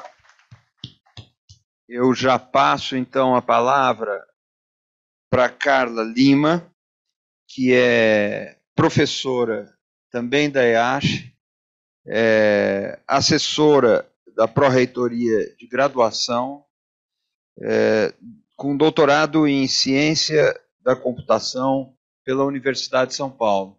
Carla, muito obrigado a você também. É, a palavra é sua. Eu que agradeço a presença, a, o convite, né? É, quero também agradecer é, aí o professor Marcos Neira pela indicação de poder estar participando desse evento rico aí. É, e, e para complementar toda a fala de todos, eu queria trazer uma experiência de sala de aula. Né? Eu queria levantar algumas questões que eu vivenciei com meus alunos, que eu tenho discutido com eles, que é o seguinte, né? É, quando eles pensam em todo o processo de ensino-aprendizagem, e eles pensam que eles vão usar o chat GPT, eles estão num processo de perda de identidade se eles não conseguem contribuir ou agregar conhecimento ou enriquecer aquele conteúdo que está sendo disponibilizado para eles, ou, ou, me entregar uma solução diferente, eles estão perdendo identidade. Porque a, imagina você ler um trabalho, é, colocar um tema para esse aluno investigar ou apresentar um trabalho, que seja na área, eu trabalho com estatística, trabalho com otimização, e você de repente se depara com trabalhos idênticos, com a mesma linguagem, onde não tem nenhuma identidade. Hoje, se você lê um trabalho de TCC, onde duas, três pessoas diferentes escreveram, você, isso é perceptível no trabalho, né? Então, se eles não tiverem uma conscientização de como essa ferramenta pode fazer mal em termos éticos para eles, eles é, vão continuar usando aí de forma inadequada, né? Então, qual é o trabalho do docente hoje dentro da sala de aula? É trazer essa consciência para o aluno do que ele está perdendo, o quão grave ele está perdendo. Ele não quer ser só mais um, ele quer ser uma cabeça pensante. Né? É, então, eu trouxe isso em sala de aula para os meus alunos e falei: olha, não tem problema nenhum vocês usarem a plataforma, desde que vocês me provem que vocês conseguiram agregar melhorias, ou pelo menos trazer uma crítica em cima do que foi apresentado. Né? E até cito um exemplo que eu pesquisei assim, o ChatGPT também sou, é, tive aí meus momentos de, de busca e coloquei lá, é, me mostre que raiz de 2 é um número irracional. Eu, eu, sei a demonstração, sei as demonstrações que são apresentadas nos livros, e ele colocou lá uma justificativa. Aí eu falei, poxa, tá vendo? Não demonstrou o resultado. Não, peraí, demonstre formalmente que raiz de 2 é um número irracional.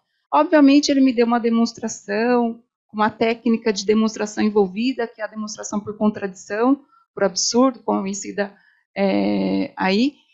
Só que o aluno que lê aquela resolução, ele, se ele não conhece tecnicamente o assunto, ele não consegue perceber que técnica que foi envolvida naquela demonstração, se ele poderia ter usado uma, um tipo de demonstração diferente, se é, aquela ali é mais fácil, ou seja, ele não passou por um processo de construção de conhecimento, onde ele adquiriu, adquiriu maturidade para responder uma pergunta dessa. Ele só obteve a resposta pronta. Então, isso é um risco muito grande, né? porque a gente está formando alunos que não sabem pensar. São alunos que estão entrando em empresas e não vão, vão ser capazes de opinar sobre nada, porque eles pegaram tudo pronto. Né? Então, é, a minha contribuição hoje é lembrar que nós já estamos numa revolução aí do ensino e aprendizagem. O nosso último congresso de graduação foi apresentar aí como essa revolução tem é, chegado às universidades, que são as metodologias ativas, é, gamificação de problemas, como é que a gente tem é, melhorado e evoluído na sala de aula em termos de educação. Né? Porque o aluno ele não quer mais aquele ensino vertical, professor-aluno, e absorve tudo que o professor está falando. E você, ele quer contribuir, e você tem que exigir essa contribuição dele, você tem que fazer ele pensar. Só que o chat GPT ele vem é, de contramão a tudo isso. Né? Então, é, eu acho que assim o trabalho do docente com tudo isso em sala de aula é, está sempre reforçando essa conscientização para os alunos. Você não quer ser só mais um, você quer fazer a diferença onde você for, então você vai precisar se mexer, né? Então, é, para concluir, que eu não vou me estender muito, achei super valiosa. Eu quero até falar que eu assisti toda a apresentação, todo o debate na parte da manhã. Eu estava em aula, depois eu estava na EASH, depois eu vim, acabei assistindo no carro para conseguir acompanhar. É, e eu quero lembrá-los aqui, é, eu quero lembrá-los aqui que qualquer tecnologia hoje que é lançada no mercado, ela tem algumas oscilações. Então, a gente tem aquele, a gente chama de hypocircle, né? Onde a gente tem aquele pico onde todo mundo se deslumbra com a tecnologia, todo mundo quer usar e está encantado e ninguém vê problema nenhum. E depois a gente tem o que a gente chama de é, a gente tem uma expectativa inflada, né, no caso, e depois a gente tem aquele vale da desilusão, né, onde todo mundo começa a perceber os erros e vem as críticas e vem né, é, todo o ataque à, à, tecnologia. Ou seja, a gente tem um tempo de maturidade de todo esse processo para chegar no que a gente chama de é, ladeira de engajamento. Né? É onde as pessoas vão ter um pouco mais de consciência de como usar essa ferramenta, é de que forma eu posso usá-la sem comprometer o meu processo de aprendizado em tudo isso. Né? Então, assim, é uma ferramenta poderosa desde que eu tenha consciência como usá-la, desde que eu consiga passar para os meus alunos como usar essa ferramenta, e é um trabalho difícil. Né? Eu falo que não adianta você ir lá e proibir a criança de chegar num certo perigo, porque ela pode pular dali e cair. Não, você precisa ensinar que se ela chegar ali, ela vai cair. Né? Porque você não vai conseguir olhar a todo momento. Né? Então, o que, eu, o que eu mais falo em sala de aula é assim, ó, você, é, você precisa ter a sua identidade em tudo que você faz. Não negocie princípios, não negocie a sua identidade. Tá? Então, eu quero deixar essa contribuição aí, agradecer à Pró-Reitura de Graduação pelo convite, é, e estou aberta às discussões, às perguntas. Obrigada.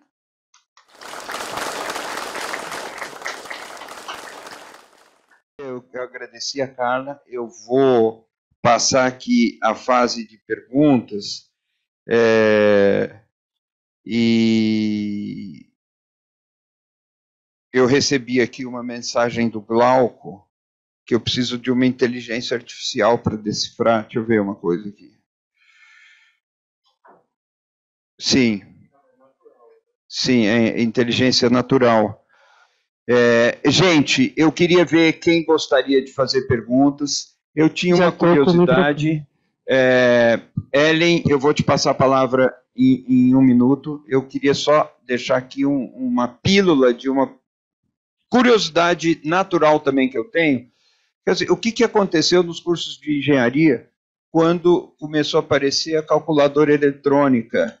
É, talvez alguns de vocês aí que têm esse currículo exótico é, pudessem contar, porque deve haver um paralelo possível, embora o Glauco, com toda razão, disse que não é com o passado que nós vamos aprender aqui. E aqui chegam também algumas perguntas da internet. Como a Ellen levantou a mão, nossa pesquisadora, é, nossa pós-doc na Cátedra Oscar Sala. Eu vou passar para você, Ellen, e em seguida eu vou tentar recuperar perguntas que nos chegaram das pessoas que nos acompanham é, de longe. E aí a gente vai passando aqui, inclusive nas respostas vocês puderem conversar entre si sem, sem é, longos raciocínios, mas aproveitar essa, essa, essa reunião de saberes tão diferentes para a gente.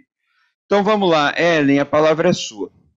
Então, é, obrigada é, sobre o que cada um falou. Eu fiz algumas observações e eu vou tentar condensar isso. Que, assim, com, começando pela Carla, é, eu vi que convergiu com o que o Virgílio falou da questão de ter a sua própria voz. Né? Então, assim, você tem essa coisa do, do, do aluno é, ser um, um, repetidor de respostas certas. Então, é uma quebra de paradigma na educação. Então, eu vejo até de uma outra forma. Eu vejo de uma forma. Como que a gente pode ver isso de uma maneira desafiadora? É, desafiadora demais até, né? Porque a gente tem um paradigma na educação que é um paradigma de você agir por modelos, ter as respostas certas. Então, a, a primeira observação que eu faria é que é, a abordagem da singularidade, que o Naumar falou da, da, da etnografia, e eu estou trabalhando nisso. Na verdade, eu estou aqui super angustiada e, e tal, porque eu, eu, eu comecei a, a, Eu tenho 26 páginas de conversa com o ChatGPT, e aí é, ele me venceu de, por exaustão. Né? Então, assim, mas é, e eu vou, eu vou te, te contradizer também um pouco, é, Luciano, porque é o seguinte, a, mas aí eu também vejo da seguinte maneira, né? Eu acho que temos especialistas aqui que podem esclarecer. É, eu, eu experimentei, né, eu, eu anotei a data do chat GPT, eu fiz a minha etnografia.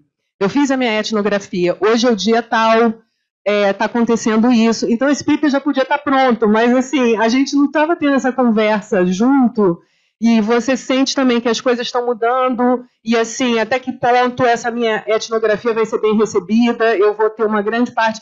Mas assim, eu, eu procurei conversar com, com o chat EPT, e assim, eu posso dar só uma, uma, um exemplo muito rápido, que é eu estou numa conversa com ele e aí eu, ele começou a falar informação demais.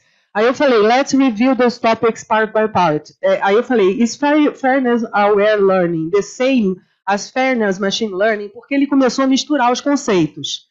E aí eu, ele começou, então, a explicar o que, que é esse fairness, o que, que ele está chamando de fairness aware learning e o que, que ele está chamando de fairness machine learning, por isso, isso e aquilo. Ok, preciso checar isso.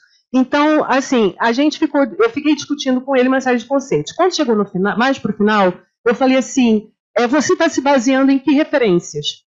E aí ele falou: eu não, eu não sei dizer em que referências eu estou me baseando, mas se você pegar a publicação tal e tal, e essas publicações elas existem, elas são publicações acadêmicas, científicas, e elas estavam lá para eu checar. Por isso que eu, eu achei muito interessante e muito consistente.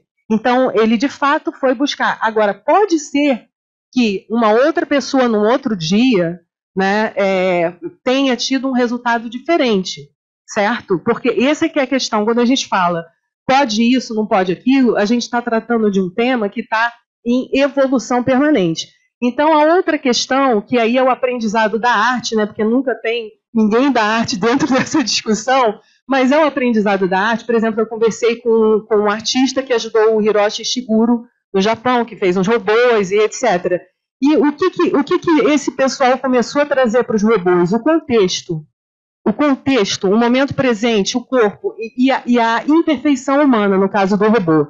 Então, como que você vai humanizar esse robô? Ah, ele vai dar um tique nervoso nele, porque, sabe, o robô é muito certinho, ele não vai ter tique nervoso. Isso é um exemplo. Então, assim, é, no caso do contexto, é, só para citar, até sugiro, tem uma. O, o Leandro, é, Leandro Carnal, né? É, Karnal, ele tem uma coisa sobre o chat GPT que é super educativa, achei muito interessante, porque ele, ele compara uma pergunta que ele fez para o chat GPT com a mesma pergunta que ele fez para um especialista, uma figura pública. Tipo, a mesma pergunta que ele fez para o Gilberto Gil. Então, está muito claro que o chat GPT ele vai dar uma resposta fria, coerente e o humano, ele sempre vai trazer para o contexto, assim, o que, que você acha de envelhecer? Aí o chat GPT vai falar o politicamente correto do, do, do envelhecer, etc, etc. E o, o, Gilberto Gil vai falar, a gente, a gente tem que lidar com isso, é o que tem. Sabe? Então, assim, é o corpo presente e sou eu. Então, a gente está dentro de, uma, de, uma, de um momento em que a nossa singularidade, aí entra a etnografia, é a nossa singularidade, é o nosso contexto e a nossa relação com o momento presente e com o nosso corpo. Isso é que vai ser o diferencial. E aí, no caso do aluno, né, se você, você vai falar para o aluno, vai perguntar para ele uma coisa, ele pode analisar aquilo que foi perguntado e como que ele, como que ele vê, é, como que ele percebe aquela resposta, né, e, e quanto aquela resposta tem relação com o que ele já aprendeu ou com o que ele conhece, sabe? Isso é uma etnografia permanente. É, esse comentário. E agora eu vou ter que fazer esse paper correndo. Não sei se eu vou passar dois dias sem dormir agora para fazer isso. Obrigado. Muito obrigado. É, o, o, Glauco quer falar? Então vamos fazer o seguinte: eu vou passar a palavra para o Glauco. É, e, e aí a gente roda aqui um pouco. Depois eu vou fazer umas perguntas que nos chegaram aqui. Não, eu queria, queria me dirigir a Dora.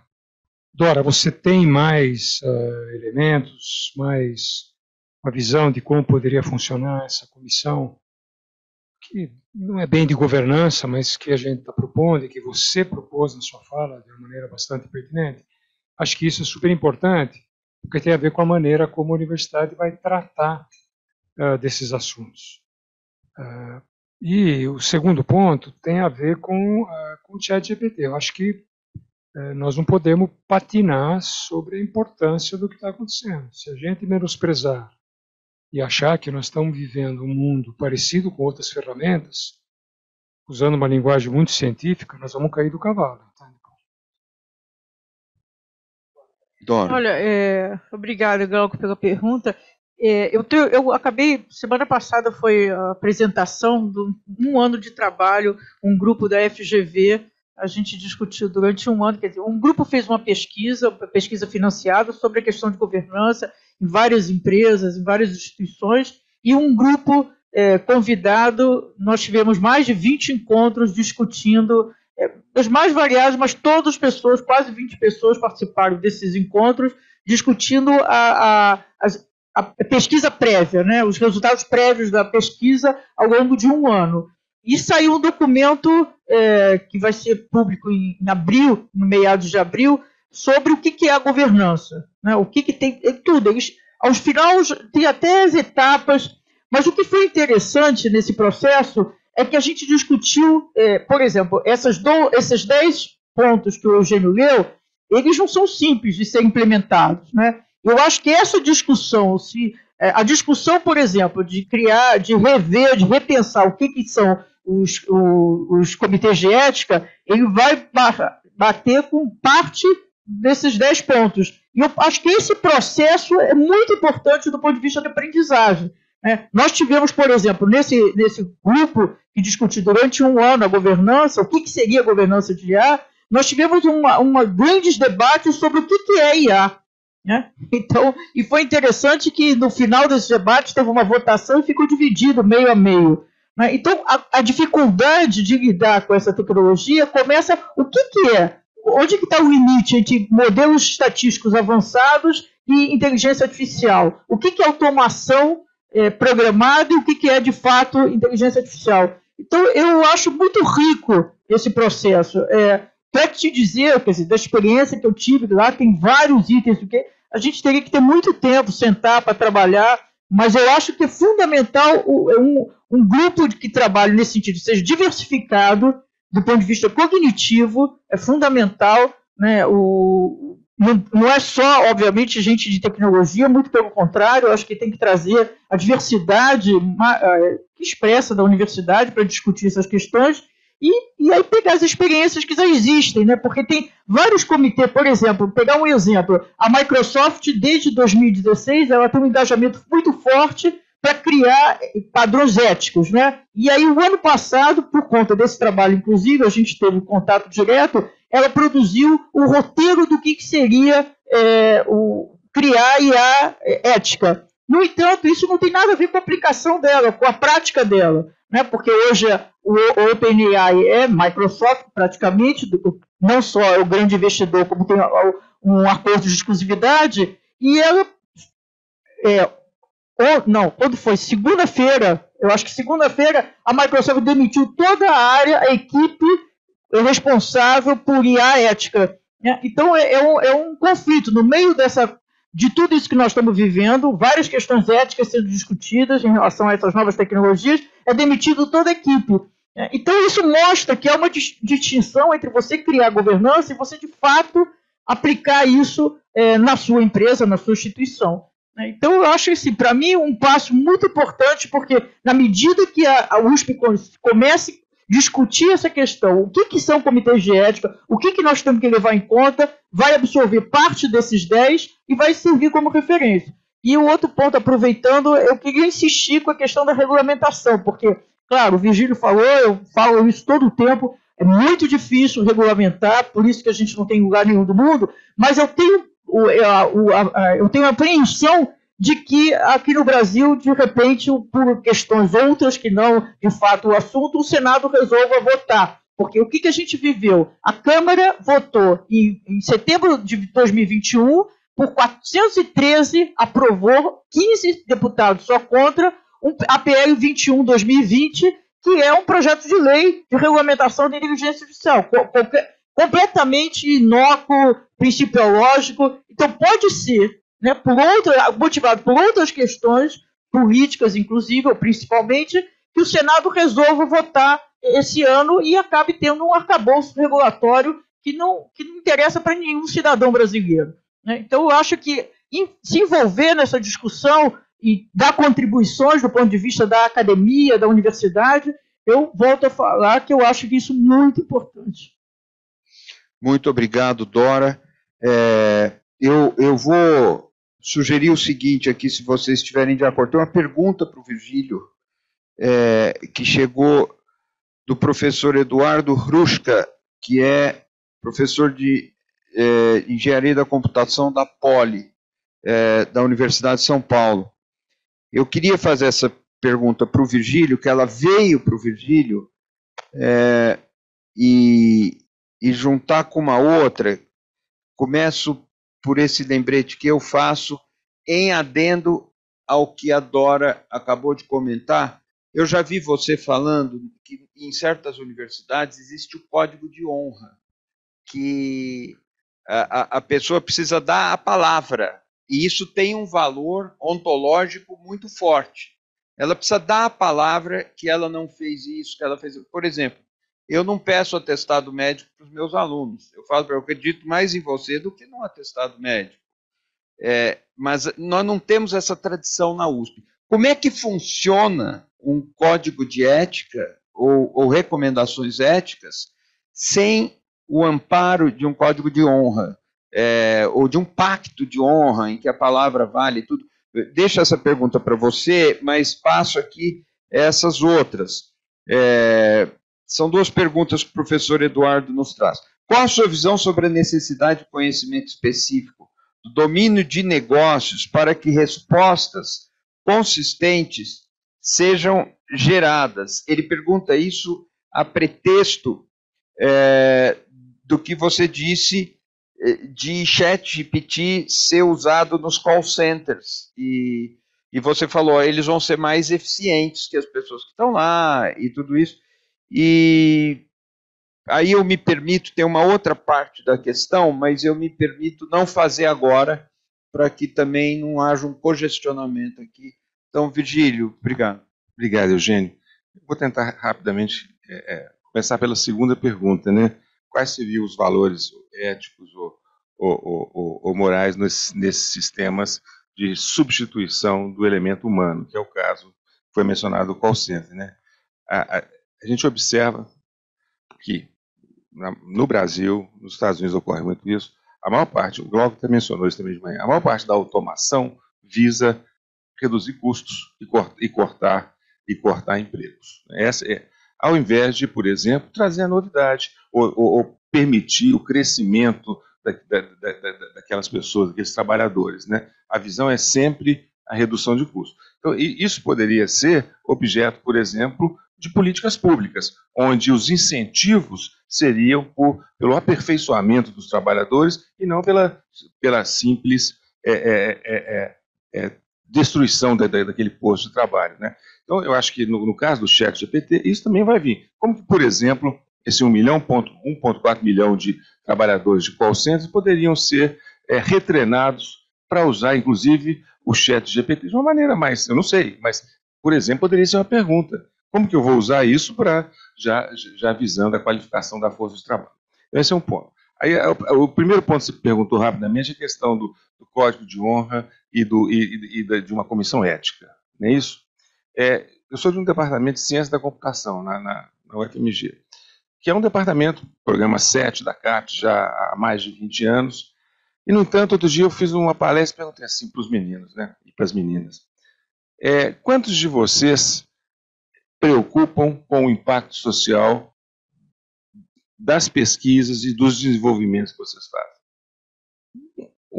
20% levantou a mão. Não, não passa pela cabeça deles que ali tem uma questão que vai modificar. Eu, eu tenho conversado assim no sentido, esses engenheiros de computação, esse pessoal, eles estão se virando engenheiros sociais. Por que, que eles fazem? Vai moldando a sociedade com essa automação. Então precisa, eles precisavam ter alguma coisa similar a, a, aos códigos de quem forma em medicina, ao juramento, de modo a saber o, o que, o que, qual o impacto do trabalho deles. Tá? Nos Estados Unidos, a questão de honra é uma, é, é, é uma chave em todas as universidades. Né? Em, algumas universidades, o, aluno assina que vai seguir o código de honra. E uma violação do código de honra é uma, é, é, é uma violação que leva a uma pena de é, é, expulsão. Mas nós não temos essa tradição aqui.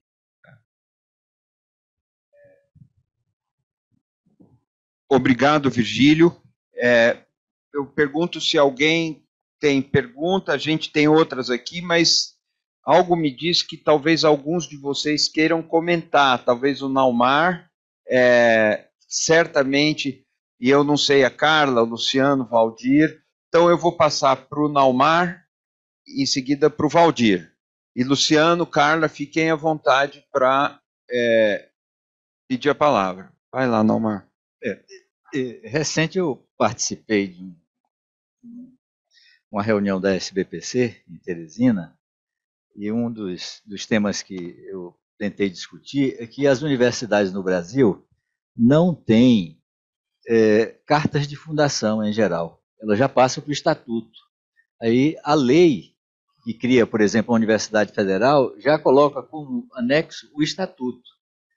É, eu sei que deve ter exceções, mas o código de honra nas universidades eh, norte-americanas, Estados Unidos e Canadá, mas isso nas universidades inglesas também, eu não tenho uma aproximação maior das, das alemães. E a, a França é, é, assim, não tem esse conceito mesmo de universidade. Mas as universidades norte-americanas, a carta de fundação é uma carta de princípios e uma derivação dela é um código de honra para todos, inclusive eh, docentes e servidores. E eu mencionei também de manhã, muito rapidamente, que a universidade brasileira não é aparelhada de nenhuma maneira para lidar com a questão do plágio, porque o plágio não é passado como um problema. Não tem em nenhum momento em que a, a própria instituição tenha uma, assim, uma afirmação de que é, é, o roubo da propriedade intelectual da criação é o maior crime numa instituição que se baseia é, exatamente nesse grande valor, nesse grande fundamento. Né?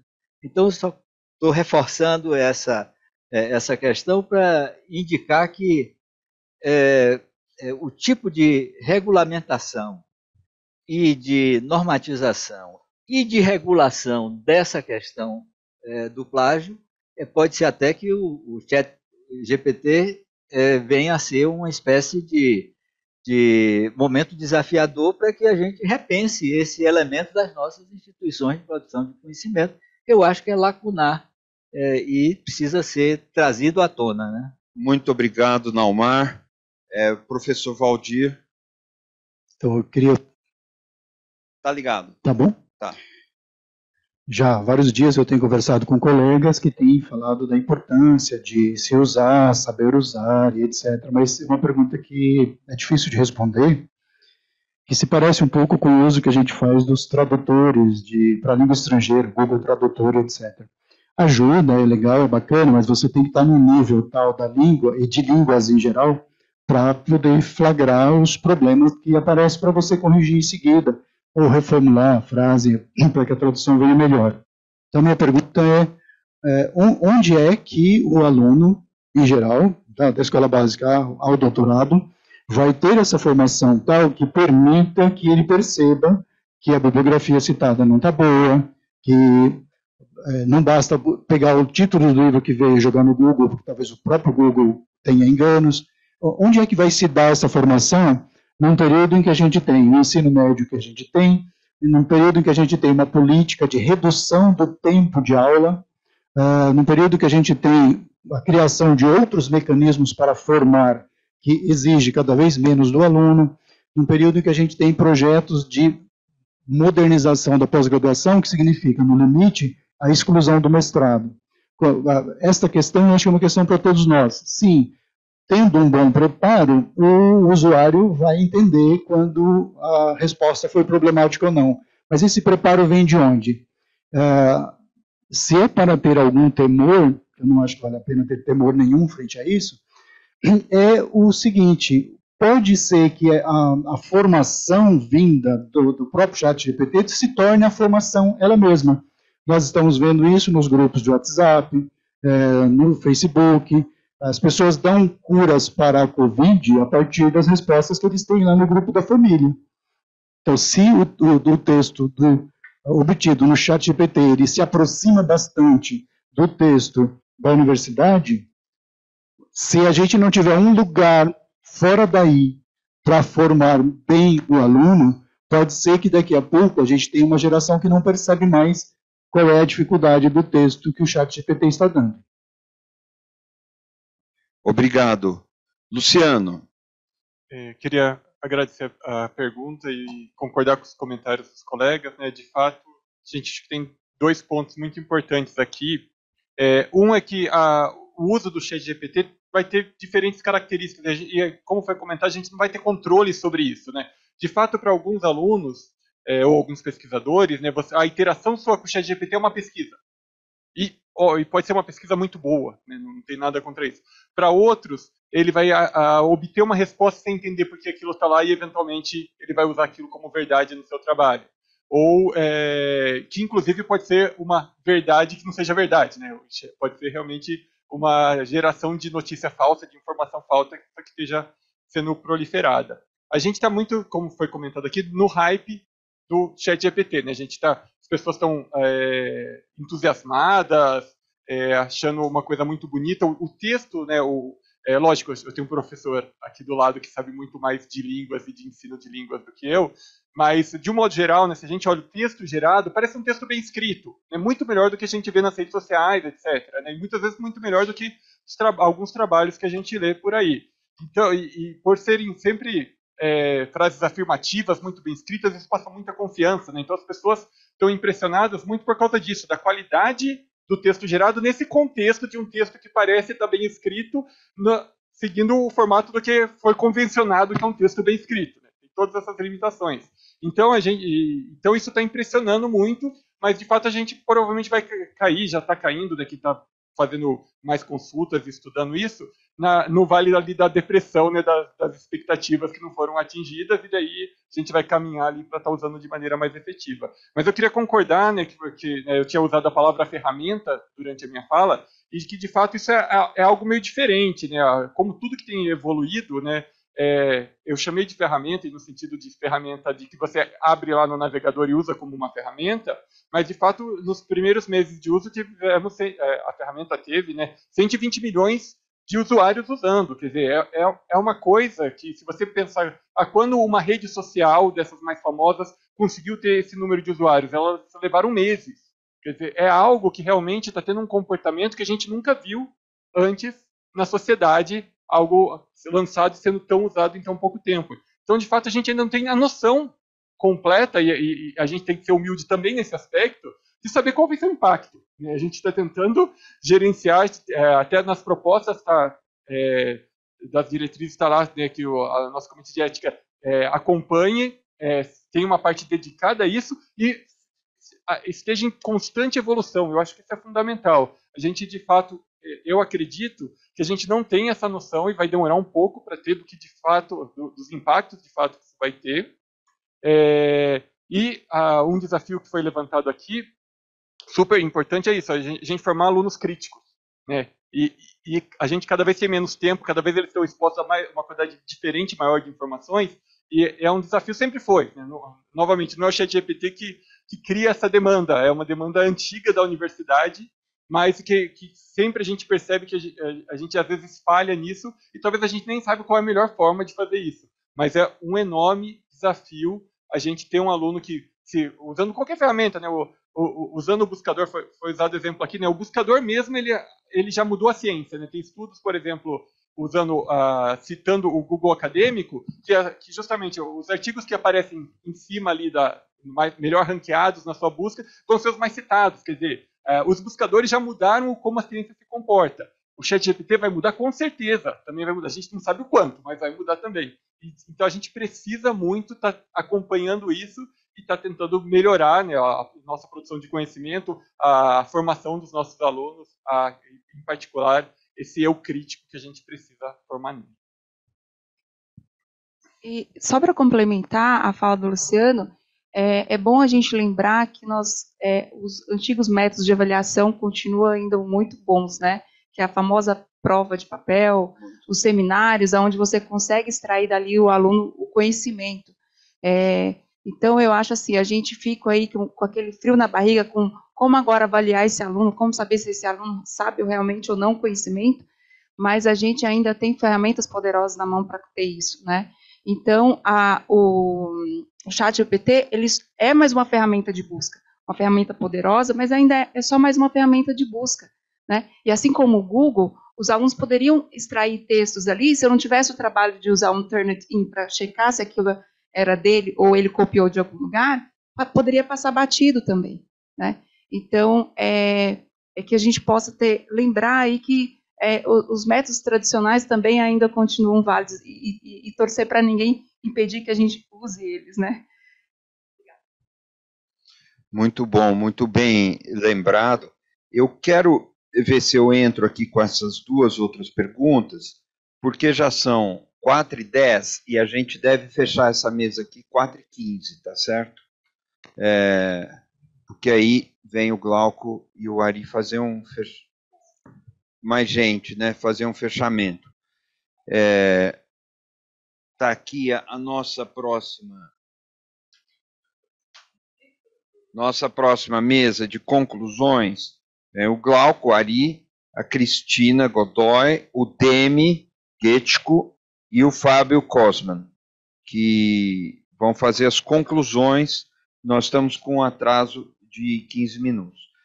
Então, nós vamos fechar rapidamente. Eu, eu gostaria apenas de transmitir duas perguntas que nos chegaram. Uma diz respeito à existência ou não de algum diálogo da USP com alguma entidade ou empresa é, de inteligência artificial, OpenAI, é, que isso poderia, segundo o autor dessa pergunta, Diego dos Santos Moura Gonçalves, poderia permitir que a universidade tivesse acesso a ferramentas ou dispositivos melhores para identificar plágio, é, para disciplinar o uso e tudo mais. É, propõe, enfim, uma, uma abertura de uma ponte com essas empresas. Pode ficar registrado aqui no, no nosso no, nos nossos na, na, ata, nos registros do nosso seminário. E a outra é, é, é se já existe, vejam que interessante a pergunta, do Gilbion Souza. É, se já existe na BNT, eu não tenho notícia disso, não deve existir, mas a pergunta me pareceu muito interessante. é, alguma maneira padronizada de informar o uso do chat GPT nas referências. Vejam que coisa. Como disse o Glauco, fica também a pergunta registrada aqui. Como disse o Glauco, nós não estamos tratando aqui do chat GPT, do chat GPT 3 ou do 4, nós estamos tratando de um modelo é, de inteligência artificial é, de um tipo ou não que vai gerar, para usar a mesma expressão, uma enxurrada de outras coisas, que é algo que não, não volta e, e vem certamente em muito pouco tempo, vem coisas que não estão nem sendo consideradas aqui. Então, se trata de estar preparado para isso. Eu gostaria então de abrir a palavra, agradecendo uma vez mais a presença de todos vocês. Estejam certos que o, o e, e a USP é, seguirão nessa trilha de aprofundar esse tema, é, extrair mais encaminhamentos. Surgiram ideias muito boas aqui. Então, agradecendo a presença de vocês, eu gostaria de abrir a palavra para que vocês é, se despedissem, fizessem considerações finais, amarrações finais, é, sempre num tempo telegráfico. Tá? Muito obrigado. Dora começa. É, bom, agradecer e parabenizar pela iniciativa. Eu acho que essa é uma discussão que está é, só começando. E só acrescentar na pergunta que o Glauco tinha feito, eu acho que o processo é tão importante quanto o resultado. Né? Então, é muito importante qualquer iniciativa, todas essas que a USP está é, sinalizando que vai efetivar, que englobe as, os departamentos, as faculdades, né? isso porque não adianta ter uma, um grupo super inteligente que defina quais são os caminhos e achar que isso vai ser implementado e absorvido na universidade. Então, o processo assim, é tão importante quanto o resultado. Bom, e obrigado pela oportunidade.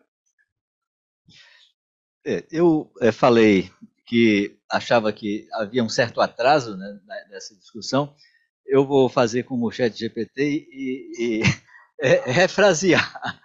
Aí, é, pode, esse, esse, isso que eu chamei de atraso pode ser entendido como maturação eu acho que agora a gente está entrando na discussão com um grau de, de maturidade, e é isso que a, a, universidade tem de melhor a oferecer à sociedade na discussão de questões polêmicas como essa. Bem, agradecer o convite para vir aqui, aprendi muito com as várias é, é, é visões aqui. Eu queria deixar um, um, um recado muito curto. Nas questões digitais, das tecnologias digitais, a gente tem percebido que todos os processos de governança que são bem sucedidos são composições multissetoriais, que envolvem vários segmentos. Eu não sei se é o caso da comissão da USP, eu não conheço, mas uma comissão dessa natureza, a meu ver, teria que ter representantes do corpo discente, representantes do, a, da administração, de modo a ter uma visão mais ampla. Não pode ser só a visão dos professores, porque eles estão muito ligados às regras, aos ritos, então é preciso trazer os alunos e outros para essa discussão. Eu queria justamente falar a partir de um tópico que o Eugênio me deu a deixa agora. Sim, nós estamos entendendo que não estamos aqui falando do chat GPT apenas como uma ferramenta, e sim da inteligência artificial. Mas a mensagem não pode ser ambígua. É, os especialistas em inteligência artificial não terão e nem podem como ter uh, como projeto, transformar todas as pessoas em engenheiros desta área. Uh, então, o que basta aqui, o que, que precisa ser recomendado e efetivado, é que tampouco tratem o usuário apenas como um operador que vai receber pequenos comandos para usar direito esta ferramenta. Que seja partilhado com eles um conjunto de conhecimentos, e acho que o próprio vídeo que ficou gravado, imagino, do Fábio, quase que atinge esse objetivo partilhar com os usuários um pouco mais de conhecimento para que ele vá além da ideia de que ele tem em somente uma ferramenta.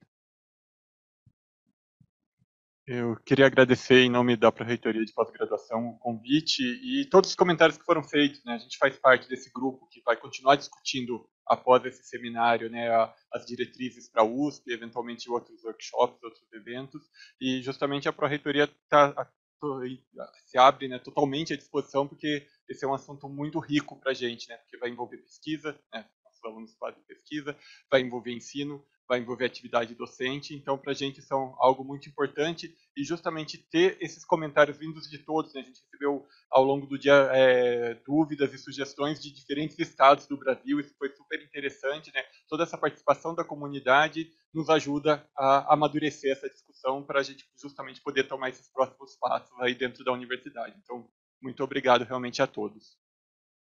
Também agradecer o convite, é, lembrar que eu estou aqui em nome da Pró-Reitoria de Graduação e que a gente possa caminhar no sentido de agregar e avançar no, né, no contexto do chat GPT, para que a gente venha ver o chat GPT como um auxiliador, né? e não algo que venha substituir é, o ser humano.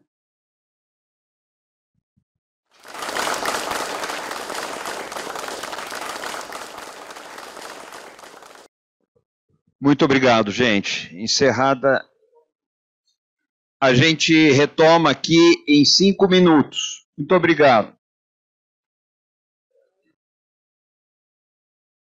Colegas, vamos retomar? Nós vamos agora para a última mesa.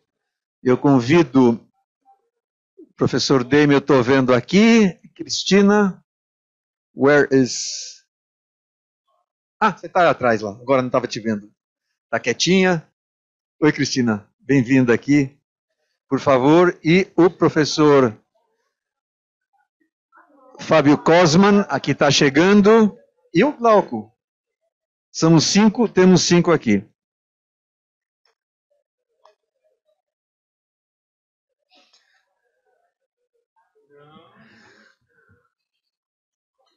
Eu queria comentar então como será a, a, a ideia, a proposta de dinâmica que Glauco e eu pensamos para essa sessão final é, pensamos que ela será, na verdade, segmentada em dois é, é, trechos, né? No primeiro trecho, nós vamos pedir, começando com a professora Cristina, que nos dá o prazer de, sendo da Faculdade de Direito Ribeirão Preto, como seu diretor presente hoje de manhã, né? É, é, então, fazer os seus comentários mais de natureza conclusiva já a partir do que foi falado, e claro, acrescentando, você tem uma, primeiro uma visão da área de direito e, tecnologia que você atua tanto também no Instituto. Na sequência, pedir ao, ao professor Demi, que é, o professor Demi é híbrido no sentido de que ele sempre é e será politécnico, mas ele está, na verdade, com no nosso parceiro Nick, br na, na, visão dele, né, que é um dos pioneiros e premiados da área, eh, da grande área de internet, eh, também para fazer os seus comentários. Eh, o Fábio, doutor Fábio, que começou e, e deu o tom do dia, também acho que para você fazer um aproveitamento, e eu penso que uma das questões é, é a questão específica ChatGPT versus uma questão mais geral de inteligência artificial, né? É, como é que a gente se. Até que ponto a gente pode segmentar ou não segmentar no, encaminhamento disso, né, para a reitoria. E, e finalmente, o, o, o, professor Glauco e eu vamos tentar é, fazer também um comentário de natureza mais de gestão e encaminhamentos, é, é, alguns que a gente previu e acréscimos que saíram desse seminário e ver se está todo mundo confortável com isso. Ou seja, para a gente levar o que a gente for levar para a reitoria, é, não, não como é, alguma coisa, vamos dizer assim, cada frase tem que ser lida nesse momento e aprovada por, por é, enfim, Assembleia Estudantil, não se trata disso, mas é, no espírito do encaminhamento possível, né, inclusive as sugestões que vêm sendo dadas. Pode ser assim? Então, é, Cristina, por favor. Olá, boa tarde a todos. Bem, primeiramente, obrigado, obrigado pelo convite e parabéns ao professor Ari Plonsky, professor Glauco Arbix, pela organização desse evento, que é muito importante. E está desligado? Tá, tá ligado? É, bem, é, a gente escutou desde manhã nos seminários falar muito sobre a questão da regulação, né? É, a regulação do ChatGPT ou sistemas similares. E quando a gente fala sobre regulação, a gente pode falar em dois grandes modelos, e é isso que gera tanto debate para a gente. Como fazer? Porque os dois grandes modelos que a gente pode falar, um é o reativo, que é o clássico do direito, que é tem uma conduta, eu reajo e aplico uma sanção. Então eu tenho uma disciplina de uma conduta e uma sanção, eu estou reagindo àquilo que está sendo uma conduta que a sociedade não deseja. E tem um outro modelo, que é o cautelar, que é típico de fenômenos emergentes. É, o cautelar, o que, que é? Eu quero prevenir que determinadas condutas ocorram. Eu não quero reagir. Eu não quero esperar que elas ocorram e depois eu discipliná-las. E ambos têm falácias quando a gente fala sobre isso. Porque o modelo reativo geralmente dá a sensação de que eu não preciso regular o chat GPT porque eu já tenho normas suficientes que pode ser, podem ser aplicadas por meio de analogia. Então, é, é simplesmente uma nova tecnologia, mas as normas existentes já são suficientes. Quando eu falo em um modelo cautelar, eu penso nada existente pode regular o chat GPT. Né? Não existe normas. Eu estou simplesmente no, no meio do caos e eu preciso agir rápido. E esse agir rápido faz com que também produzamos a, a normas, regras, enfim, é, normas em sentido geral, é, que não acabam solucionando o nosso problema. Nenhum, nem outro nós temos. A gente não tem nenhuma dessas duas situações, né? A verdade é, nós temos normas e normas jurídicas que são capazes, sim, de, de regular determinadas situações, mas ao mesmo tempo é um fenômeno emergente que precisa ser estudado e será necessário discipliná-lo e eventualmente ter normas reativas, mas principalmente de natureza cautelar, porque nós pretendemos evitar determinados riscos à sociedade. A gente quer explorar os benefícios e evitar os riscos. E, bem, quando a gente pensa e debate esse tipo de, de, de modelo, e quando a gente fala de um, de um modelo cautelar, a gente, inclusive foi esse, esse último debate, eu achei interessante. A gente, eu escutei código de honra, escutei questões éticas e escutei normas jurídicas. Então, é, exatamente a regulação a regulação, exatamente, pode ser uma regulação ética, pode ser uma regulação jurídica. E quando a gente fala em código de honra, a gente está falando sobre moralidade. É, as diretrizes que foram lidas hoje, elas são principalmente no campo da ética e da, das normas em geral, né? São, são guias, são um caráter mais principiológico, mas não temos um código de honra. E, inclusive, falou-se aqui na faculdade não tem um código de honra. O código de honra depende, claro, da tradição do local, mas é muito ligado à moral, ligado à subjetividade, e por isso a gente busca mais é, verificar a questão ética, porque a ética eu analiso a conduta. Qual é a conduta desejada? Né? E o objetivo desse seminário é tão importante, e esse primeiro passo da Universidade de São Paulo é tão importante no sentido, estamos aqui discutindo, estamos buscando princípios, princípios principalmente de natureza ética, mas que podem e vão acabar inspirando normas jurídicas, por exemplo, que sejam elaboradas, resoluções aqui na, eh, na Universidade de São Paulo, mas principalmente é, estamos dando o um norte em relação ao que se espera pela comunidade acadêmica. Mas isso não é, é, o primeiro passo, nada está pronto. A gente precisa entender como que a comunidade acadêmica como um todo, docentes, discentes, servidores, como eles vão atuar em relação a isso.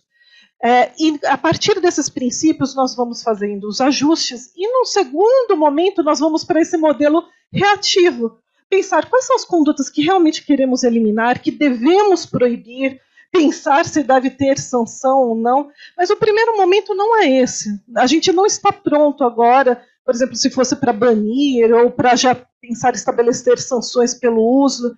Por esse momento, a gente precisa saber como vai ser utilizado e o que a gente quer e o que a gente não quer no âmbito acadêmico e depois pensamos em outras regras. Sob o ponto de vista jurídico, e por isso que eu falo, temos regras que são possíveis serem aplicadas, por exemplo, direitos autorais. É minha responsabilidade. Não adianta falar, olha, o chat GPT escreveu isso, não fui eu, então ele que violou os direitos autorais. Eu publiquei. Ah, mas eu publiquei no nome do chat GPT. Mas eu estou publicando e quis fazer isso e tem algum impacto e algum benefício para mim ter feito isso. Então eu sou responsável por isso, né? É, não temos ainda jurisprudência, decisões nos tribunais, mas essa vai ser a lógica, a lógica jurídica. Na ausência da, da lei, o, os magistrados decidem conforme o, o, as regras existentes. É, temos vários problemas, mas no âmbito acadêmico, acho que o principal que a gente precisa tomar cuidado nem é em relação a esses dados que foram utilizados e coletados. O que a gente precisa to tomar muito cuidado são as informações que nós vamos colocar agora. A gente está fazendo muitos testes, pode ser usado para muitos insights, brainstorms, mas algo a gente precisa tomar muito cuidado. Por exemplo, a gente está com aquele, é, por exemplo, acesso ao patrimônio genético. Né? A gente recebeu notificações que quer utilizar esses bancos de dados. Nós não podemos pegar essas informações e jogar no chat GPT para ver insights, porque a gente não sabe o que, que essas, essas informações, como elas vão ser coletadas e como serão utilizadas. E, e, isso é uma violação à Lei Geral de Proteção de Dados. E a pessoa, por exemplo, que é detentora desse dado pessoal sensível, por exemplo, ela não consentiu nem de forma livre, nem de forma informada. E, e bem, isso são em vários campos, mas no meio acadêmico, eu acho que o grande alerta que a gente precisa ter, isso, e por isso é tão importante a elaboração de guias, tutoriais para toda a comunidade, é lembrar que aquilo que nós estamos informando também é nossa responsabilidade. Não é só o retorno, que é mais fácil de ser detectado ser punido, mas a gente também precisa ter a responsabilidade como pesquisadores, é, exatamente de não informar aquilo que é, não, é, não é dado para a gente abrir, porque a gente não sabe como está sendo utilizado. Bem, basicamente, é, eu é, gosto, essas são as minhas considerações, a minha fala em relação a essa parte regulatória. É, e o que eu gostaria de encerrar é a gente não tem tanta pressa a ponto de precisarmos de regras tão rápidas e regras como comandos de conduta, mas também não podemos ignorar a realidade, esses fenômenos emergentes que precisam ser analisados. Então, primeiro precisamos entender como, quais são as situações, as condutas que vão ser realizadas, aquilo que é desejável aquilo que não é desejável, e mais aquilo que é incorporado pela comunidade acadêmica, porque não adianta nós publicarmos resoluções e ninguém seguir, né? Porque senão elas não terão nenhuma força. Então, por isso que é tão importante esse seminário, os próximos eventos que serão realizados, as diretrizes, porque elas estão mais voltadas, sim, à ética, questões principiológicas, mas que serão importantes para uma futura regulação, por exemplo, jurídica, normativa que a USP necessite, e aí a gente pensa até também no sentido macro. Bem, obrigada, devolvo a palavra.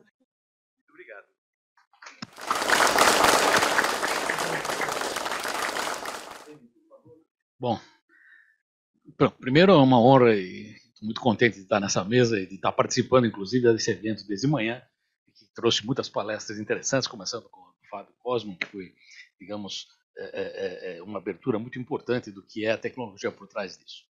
Eu não tenho competência para julgar a tecnologia por trás disso, farei comentários, digamos, transversais, até usando as provocações que me foram feitas por aí. Por exemplo, acabamos de ver uma provocação importante que eu vou juntar com uma, uma das discussões sobre IA, quando se fala em ética ou coisa assim. Eu acho que o, o, o, quando se fala que tem viés na IA, isso me deixa sempre preocupado. Primeiro porque, em geral, o programador não está preocupado em botar viés em nada. Mas uh, uh, uh, o que me preocupa é que, certamente, a gente, quando fala essa frase, a gente não quer algo sem viés. Porque o que a gente quer é viés.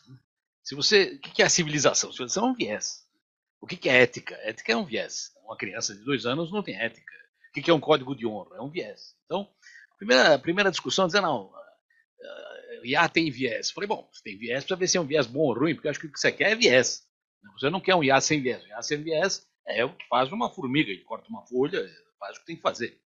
Então, essa é a primeira pergunta, tentando limpar conceitos que a gente escuta por aí, que às vezes apontam para a direção errada. Uma IA sem viés é uma IA mecânica, com uma criança de dois anos, que pode bater no outro que é maior, etc. E tal. Não tem, não tem princípios que a avó dela ensinou.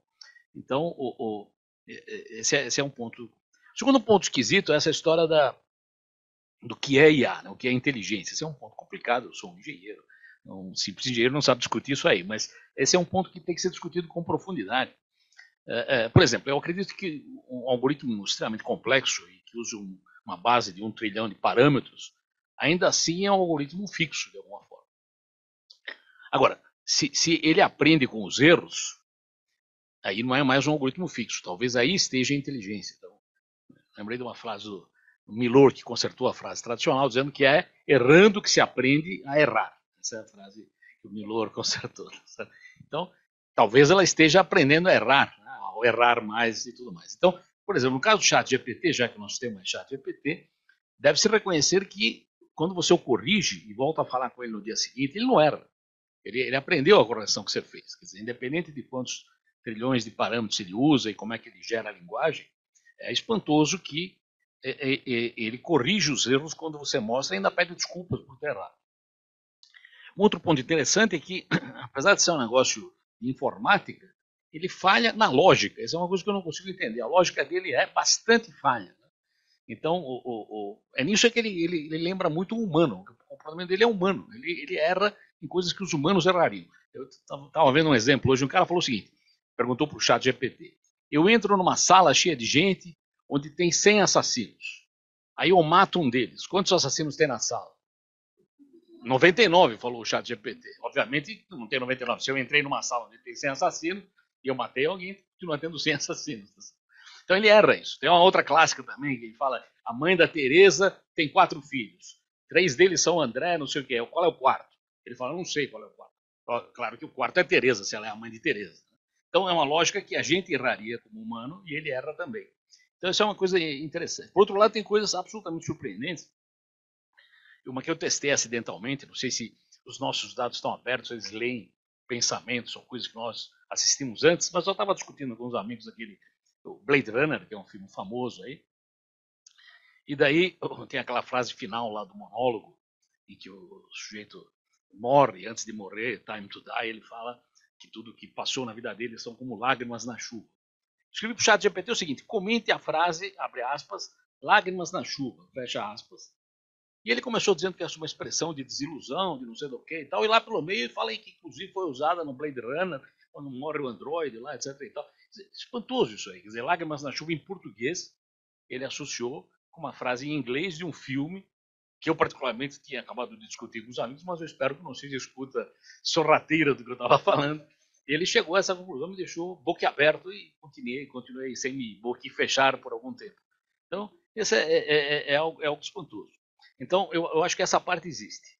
Outra coisa que eu acho que queria comentar, só para não esticar, coisa, foi uma provocação que o Eugênio fez ali sobre máquinas de calcular. E como também sou um sujeito bastante jovem, vou lembrar do, do começo da, da Poli, nos anos 71, né, quando o professor Fadigas dava aula de introdução à engenharia. Ah, olha aí, tá vendo aí? Estão por lá. Então, o, então, Fadigas é gente finíssima. Então, o Fadigas tinha umas posições bastante estranhas, como você lembra, chocantes. Né? Ele dava aula no Teatro Amarelo. Então, ele estava discutindo o que é engenharia, se você tem que se preocupar ou não com que carreira da engenharia você vai escolher.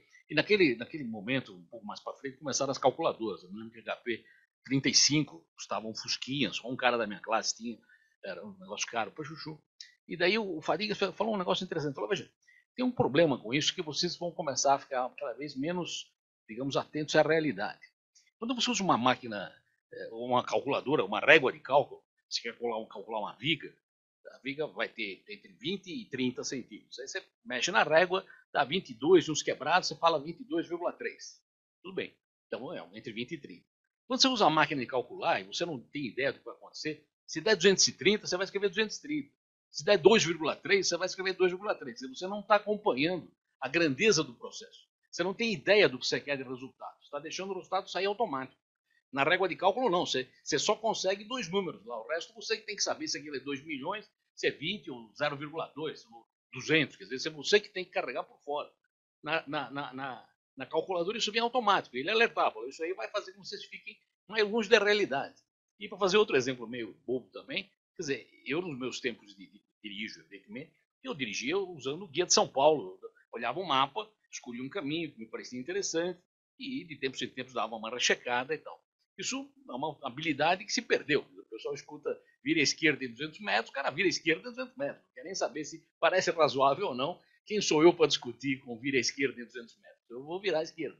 Então, isso é uma, uma, uma, é, é, é uma são capacidades, claro que se ganham outras, eu não estou discutindo o mérito do curso em geral, mas são habilidades que se perdem.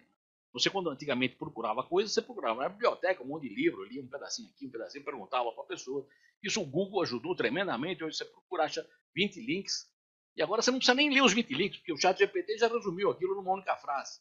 Então, será que isso aí, digamos, melhora no geral? Quer dizer, certamente é muito cômodo. Mas eu não sei se isso nos dá, digamos, uma boa, um bom futuro pela frente. Falar em cômodo também é um problema. Quer dizer, como era a internet no começo, era um a um, todo mundo falava e procurava as coisas. Com, com a, a, o comodismo das redes sociais e das grandes plataformas, eu moro lá, lá eu ganho as notícias que eu quero, já tenho os amigos que eu quero, já tenho as piadas. Quer dizer, você, você por comodismo acaba se atrelando em, em, em jardins murados. Eles ganham com isso, mas eu não vou discutir o fato eles ganharam ou não ganharam. Eu discuto que a gente colabora, né? como a gente colaborou para parar de entender como é que é a cidade ao usar os, os, os roteadores de trânsito, talvez você vai parar também de discutir como é que se evolui no conhecimento, porque o chat GPT vai te trazer isso pronto. E aí você pode gerar uma bolha que não cresce mais. Ele está usando tudo que foi feito até agora, mas eu quero saber o que será adicionado a essa bolha e quem vai adicionar. Porque se for ele mesmo que vai adicionar, nós estamos em loop aí, gerando uma coisa o tempo todo. E, e para, não sou evidentemente pessimista, mas uma frase que eu li esses dias no livro diz o seguinte: olha, há riscos de que uma coisa como IA gere a extinção da espécie. Mas se gerar é porque merecia. Então, eu termino aqui.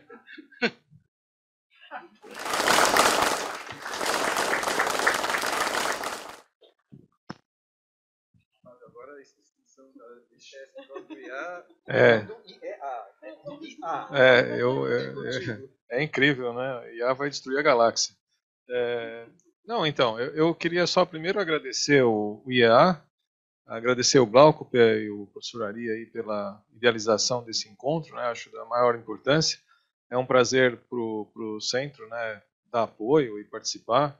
Na verdade, muitas pessoas que estão aqui, o professor Ari, o Glauco, a Cristina pesquisadora principal do centro, todo, muitas pessoas adoram. Então, estamos todos aí na mesma barca, é, projeto de destruição da humanidade, né? Todos nós interessados nisso. Mas eu queria, é, como professor ali mesmo falou, eu já tinha pensado em falar um pouco sobre isso, falar de uma forma mais ampla, né? A gente falou muito do chat GPT hoje, e eu acho que, que a inteligência artificial é um pouco mais ampla, e, e, e existem momentos de super, super interesse em algumas coisas que dão certo. O ChatGPT é um exemplo agora. Eu acho que o ChatGPT, a empresa, né, a OpenAI, foi muito feliz em criar uma personalidade é, interessante, porque o que acontece? As pessoas usam se erra, dão risada. Ha, ha, ha, olha que legal, passei a madrugada dando risada com o ChatGPT. Se acerta é incrível. Então, isso criou uma coisa positiva, né? Que, que se eles tivessem lançado e falado, olha, aqui estão as respostas para as coisas que vocês querem. Como, aliás, eu estou falando de propósito, a, a Meta lançou um, um sistema chamado Galáctica alguns meses atrás. E deu errado, por quê? Porque o sistema só falava as bobagens tinha essa personalidade interessante. Então eu acho que eles foram muito felizes, isso é, deu um momento de, de, assim, grande interesse, gerou um momento de grande interesse no GPT, mas eu acho que, ah, vamos dizer assim, o esforço humano né, de criação de novas tecnologias continua, né? E a, a tecnologia ligada à inteligência artificial, ela é um pouco maior que, que isso, é maior do que a discussão de agentes conversacionais, ela envolve vários pontos, né, vários problemas. É, hoje eu recebi várias perguntas sobre o que é explicação. Então, explicação, se a filosofia soubesse o que é explicação, seria mais fácil, né? Acho que os filósofos estão discutindo esse desde que Platão escreveu o Teteus, foi 400 antes de Cristo, certo? Então, estão discutindo o que é uma explicação. É, então, tem vários problemas que a IA está tentando resolver, fora dessa questão de agente conversacional, que envolvem questões básicas sobre como é, o que é tomar uma decisão correta, nossos amigos economistas e administradores certamente sabem, é, qual é a melhor maneira de obter é, informação a partir de dados, nossos colegas estatísticos estão nessa empreitada há um século. São coisas que são problemas muito fundamentais da condição humana né, e que a gente está tentando resolver para o bem da nossa vida, da nossa produtividade, para o aumento da nossa produtividade. Então, eu acho que a, a, empreitada da inteligência artificial ela é maior do que a empreitada de hoje do ChatGPT ou dos agentes conversacionais. Né? E ela passa por um desejo de melhorar a qualidade da vida humana. Agora, é, obviamente há riscos, né? há riscos que as tecnologias trazem, e o ChatGPT eu acho que é um, algo realmente revolucionário, acho que não é uma coisa, não é só um corretor de texto melhorado, ele realmente, se me falassem cinco anos atrás que ia esse sistema ia funcionar desse jeito, eu ia dar risada. Acho que ninguém previa isso. 20 é, anos atrás, então, ia ser ridículo pensar que em 20 anos ia chegar nisso. Então, houve realmente uma mudança de, de qualidade, mudança de paradigma.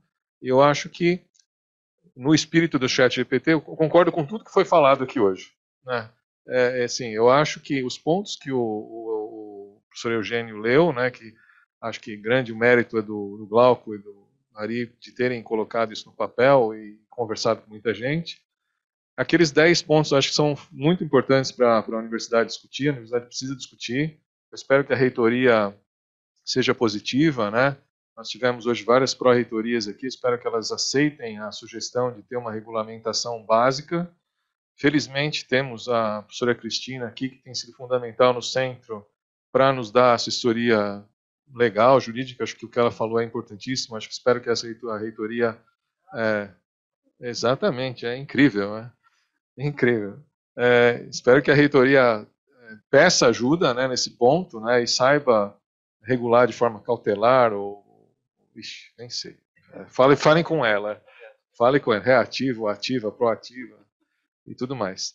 Então, é, ou seja, eu, eu acho que é, a IA precisa ser regulada agora nos agentes conversacionais, a tecnologia provavelmente vai desapontar, depois vai, depois vão aparecer outras tecnologias, mas essa, essa, esse crescimento da inteligência artificial é um crescimento maior do que o ChatGPT, é algo que está acontecendo no bojo das tecnologias digitais, que estão, é, são pervasivas, e ubíquas hoje na sociedade. Então a gente tem que estar preparado na universidade para ir regulando, gradualmente, para ir controlando. Não é só o ChatGPT, Daqui a pouco nós estamos falando, ah, mas o chat GPT não dá referência. Daqui a pouco ele dá. Né? Daqui a pouco alguém faz. Se ninguém estiver fazendo, espero que aqui na USP a gente consiga fazer um, porque vai ser a coisa mais útil que existe. Então, se tivesse um assim, se tivesse um com fontes, acho que a gente tem que dar dois passos adiante. Né? A universidade tem que pensar isso. Ué, se tivesse um que desse as fontes, a gente não ia querer? Ia ser contra? Então, eu acho que a gente tem que ir, de fato, regulando de fato controlando, de fato consultando especialistas nisso. E eu espero que a universidade agora, dada a iniciativa aí do professor Ari, professor Glauco, desse passo, né, o centro está à disposição, assim, tem uma centena de pesquisadores à disposição para ajudar. Eu espero que a gente chegue a bom termo, que a universidade esteja pronta para esse desafio, é, que é um desafio universal. Né? Eu acho que todos os países estão é, muito preocupados eu estava contando que na semana passada eu tive na Bélgica. O dia que eu cheguei lá, eles não podiam me receber porque estavam tendo um, um encontro sobre o chat GPT. Né, estavam preocupados. E, e, no final do ano passado eu, eu tive na França. E quando eu cheguei na França, eu visitei um centro lá. E eu conversei com uma professora, uma colega, colega nossa lá, de longa data. E eu falei: Nossa, e vocês viram que saiu o chat GPT? Ela falou: Vimos. E no dia seguinte que saiu, Todos os meus alunos entraram na minha sala e perguntaram como é que eles iam terminar o doutorado. Porque o negócio já faz tudo que eles faziam. Então, eu acho assim, esse, assim nós temos que, ter condições de reagir a isso.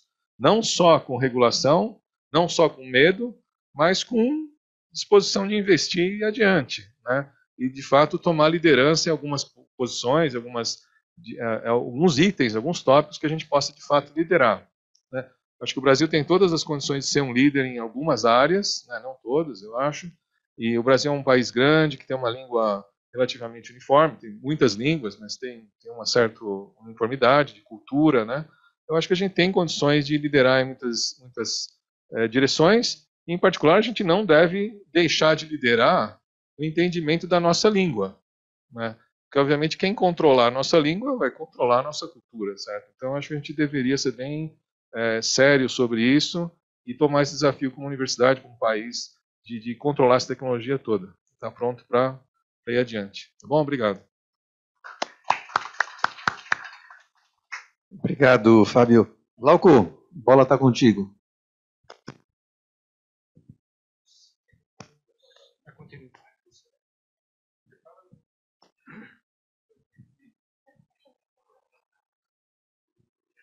Não, eu acho que uh, a gente deu um passo pequeno, mas uh, acho que é um passo extremamente importante. Nós conversamos uh, não só entre nós, mas com várias competências dentro da universidade.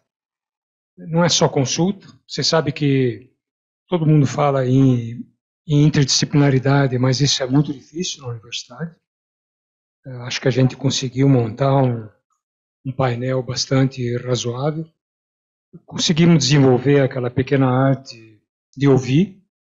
É, também a gente fala o tempo todo em diálogo, em ouvir, é, mas nem sempre a gente consegue ouvir. Eu falo por mim, o Ari ajuda muito, que o Ari é muito mais é, diplomático do que eu. Eu já quero ir na canela, tal, mas ele, ele me segura, entende? A gente, a gente faz as coisas, acho, de uma maneira bastante razoável. E a gente reuniu uma série de visões e concepções é, com muita ajuda do Fábio. O Fábio é uma pessoa é, excepcional, não só pelo lugar, pela competência dele, pela abertura que ele dá. Eu brinco com ele, nem parece engenheiro. Né? É, ele parece uma pessoa inteligente, viva, entende? Mas, desculpem, Deb.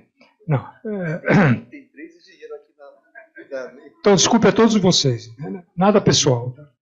Mas uh, uh, acho que uh, a gente conseguiu montar um, um, um, sistema interessante de conversar. O IEA é, é, um, é um local excepcional para isso, e isso ajuda muito a gente a trabalhar. O mais difícil, se vocês querem saber, o mais difícil é a gente compreender a natureza é, daquilo que é o chat GPT, a ferramenta, e tentar prever desenvolvimentos futuros. Hoje ele está como gerador de textos. Toda a política, todos os programas e todas as estratégias, eu vi isso. Eu passei no final do ano no MIT, passei em várias universidades fora, é, é, era um furor. Aqui ainda não chegou. Nós estamos vendo alguma coisa que está muito no início. Né? As universidades lá fora estavam muito nervosas. Eu falo de algumas universidades que eu tive contato, evidentemente não tenho condições de saber o que acontece. Mas as principais, vai lá para Yale, para Princeton, para Columbia, eh, para Harvard, para MIT, eh, essas universidades estavam em Stanford, estavam empolvorosas. Por quê? Porque o primeiro ponto deles, eles diziam claramente o seguinte: isso não tem nada a ver com o revisor de texto. Nada a ver. Nada a ver com o tradutor. Quem acha isso vai cair do burro. Isso não tem nada a ver com um buscador de internet. Ele não busca na internet, ele compõe textos. E o mais grave é que ele compõe, com base em estatística avançada, textos que parecem feitos por humanos. Veja, a gente, a gente releva um pouco isso. Nós estamos conversando com uma máquina, gente, que nos entende. Ela não entende, mas parece que entende. Tá? Ela não compreende aquilo que ela escreve, mas parece que compreende. Então, esse, é, essa é a realidade do que nós temos hoje. É, e nós podemos fazer exercício de filosofia, apesar de ter feito filosofia, quem gente quiser, ela oferece conhecimento para a gente. Você pode falar que é frio, que é morno, amanhã vai ficar quente. Amanhã vai ficar mais temperado. Porque é assim que está. O GPT-4, pelos, pelo relatório que eles soltaram, imaginando que eles estão corretos, já tem mais de 40% já de menos chances de uh, ter as alucinações e 82% menos chances de ter problemas como pedofilia, tortura, violência, e que ele responde daquela maneira pseudo-elegante, vamos chamar assim, que ele diz, olha, eu sou um assistente de voz, sou assistente de conversação, e eu não tenho posição sobre isso. Tá? Ele responde assim para a gente. Ele, ele, ele, desse ponto de vista, o sistema é transparente para a gente. Né? É só desse ponto de vista. Então, aqui, nós temos que compreender o que está acontecendo, senão nós não vamos saber o que nós vamos fazer na universidade e nós não vamos perceber como os alunos estão trabalhando e como os professores estão trabalhando. Esse é o problema. É, e a, a evolução, a trajetória aponta para uma situação de maior complexidade. Texto hoje, mas a Google, a Microsoft, Baidu, que são as grandes empresas que estão à frente, os coreanos agora começaram a despontar. Né? O que, que eles estão fazendo? Eles estão juntando de forma não só turbinar, alavancar os sistemas de busca dele, com isso, então a natureza da busca vai mudar, como eles estão tentando juntar texto, imagem, voz, gesto. Entendeu? É uma, é uma realidade muito diferente. O Fábio está dizendo, eu não sei se mudou o paradigma, mas que tem um ponto de inflexão, um ponto que é fora da curva, tem. Não tem conversa. E isso tem que cair para nós, a gente tem que ter claro isso na cabeça. Entende? Tem que ter muito claro. Claro que tem muita coisa que vai sobreviver, as coisas não mudam tão de repente assim, em nenhum lugar do mundo. A, a, humanidade gera essas mesclas né, de antigo com novo, mais ou menos, certo? Mas aqui nós estamos avaliando tendências. E as tendências que estão apresentadas para nós, elas nos levam a reimaginar o processo de educação. Nós temos obrigação de fazer isso. Nós estamos preparando alunos e alunas para amanhã. É isso que nós estamos fazendo. Nós estamos formando as pessoas é, para se adequar a um mundo que não é o mundo de ontem.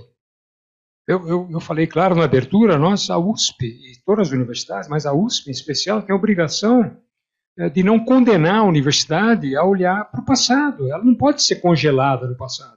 E tampouco ela pode assumir com deslumbramento uma nova tecnologia sem visão de questionamento, crítica. O termo que eu uso e uso para os meus alunos é falar: nós precisamos desafiar a tecnologia. Porque assim ela melhora, nós melhoramos, e a universidade melhora, o ensino melhora. Então aqui tem um, um, um problema. Acho que as nossas pró-reitorias, a USP, nós temos que pensar exatamente essa realidade.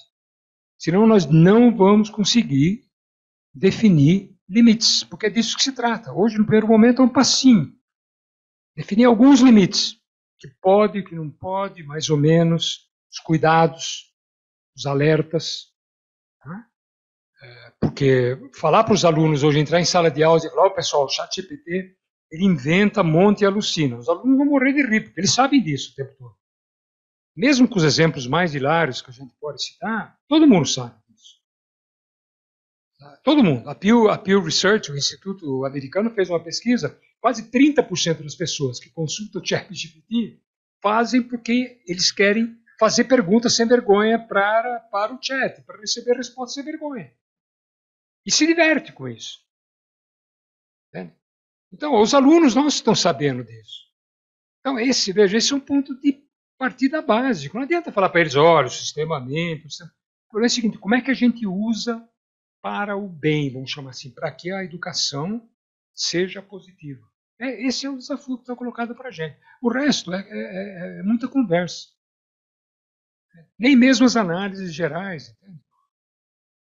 ajudam, são importantes, mas nós temos que saber como é que nós vamos colocar essas ferramentas e como é que nós vamos orientar os alunos. Pare, vale o que quiser. É, é uma nova maquininha de calcular? Acho que vai cair do burro outra vez quem achar que é isso vai cair mesmo. Assim, entende? Eu falei de cavalo antes, cair do burro do cavalo é praticamente a mesma coisa. Então, é diferente? Tá bom, desculpe. Uh, mas, entende? Uh, acho que nós temos que ter essa consciência desenvolver. Então, em função disso, nós, além do documento que nós queremos consolidar, o Ari vai falar das propostas, vai tá, tá na tela já já. Nós estamos pensando em realizar um bloco de cinco seminários preparados em tempo.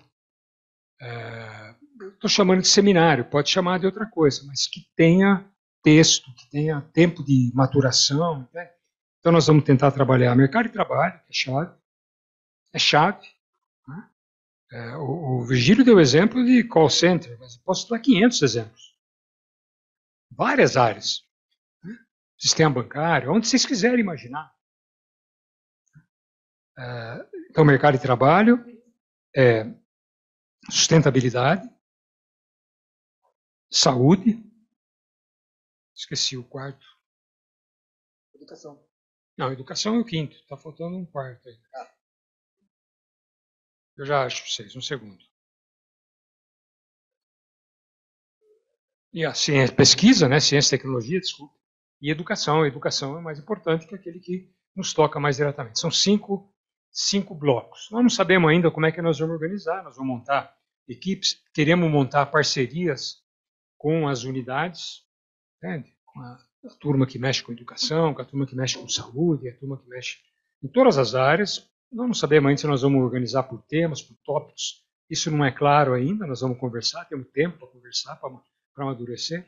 Mas essa é a ideia de continuidade. O IA tem, vai, vai desempenhar um papel extremamente importante em fomentar essa discussão. Aliás, o reitor nos incentivou, nós vamos seguir esse caminho. O Ari tem toda a capacidade de ser o grande timoneiro aí, entende? Né? E coordenar essa atividade. Vamos envolver muito o C4AI, né? apesar de ter muito engenheiro lá, mas nós vamos tentar ver se a gente suporta. E vamos trazer o pessoal das humanidades, porque isso diz respeito a todo mundo. Todo mundo. Chamando de humanidades em geral, certo? Todo mundo. É, sem essa visão diversificada, nós não vamos a nenhum lugar. Então, é aqui é, é a mensagem que gostaria de deixar. Certamente o Ari pode complementar com mais propriedade do que eu. Ari. Muito obrigado, Glauco. Obrigado também pela parceria, pela animação e pela seriedade com que você, com essas brincadeiras todas, né? Você é uma pessoa das mais sérias que eu conheço, né? Você é focado e, vai em frente. Então, obrigado pela parceria. Eu queria ser muito breve, nós estamos já enfim, é, perto do final da tarde. É, eu queria dar rápidos pitacos, né? O Glauco já deu o nosso roteiro. O primeiro é que assim, a síntese sobre o, o, assunto específico né, que a gente falou hoje, chat GPT, é, me leva a sugerir que a gente é, é, faça alguma coisa que vem do hebraico. Eu falo hebraico, e o hebraico ele tem é, consoantes e as vogais você pode ir é, adicionando, né? Então, é, é GPT, eu queria sugerir que fosse Gepeto, não é? e que é um entalhador, é, e que, então, criou lá o tal do Pinóquio, né, que é um boneco de madeira que tenta ser um ser humano. Né? Então, é um texto. É um texto artificial, né, que tenta se vender como ser humano.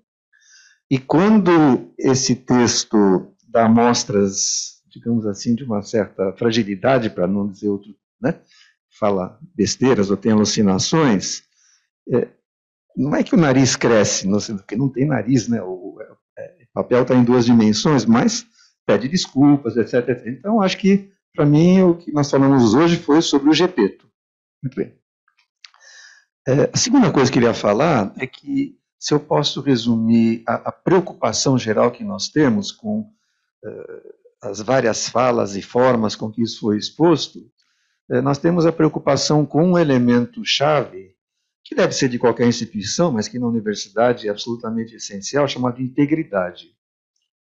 Então, eu acho que essa é a, assim, esse é o, o, o mote, né? Como é que a gente é, é, avança, aproveitando, etc., mas assegurando a integridade. Integridade, inclusive, significa é, aquilo que o Glauco falou, não é? Integridade dentro das condições evolutivas né, que existem.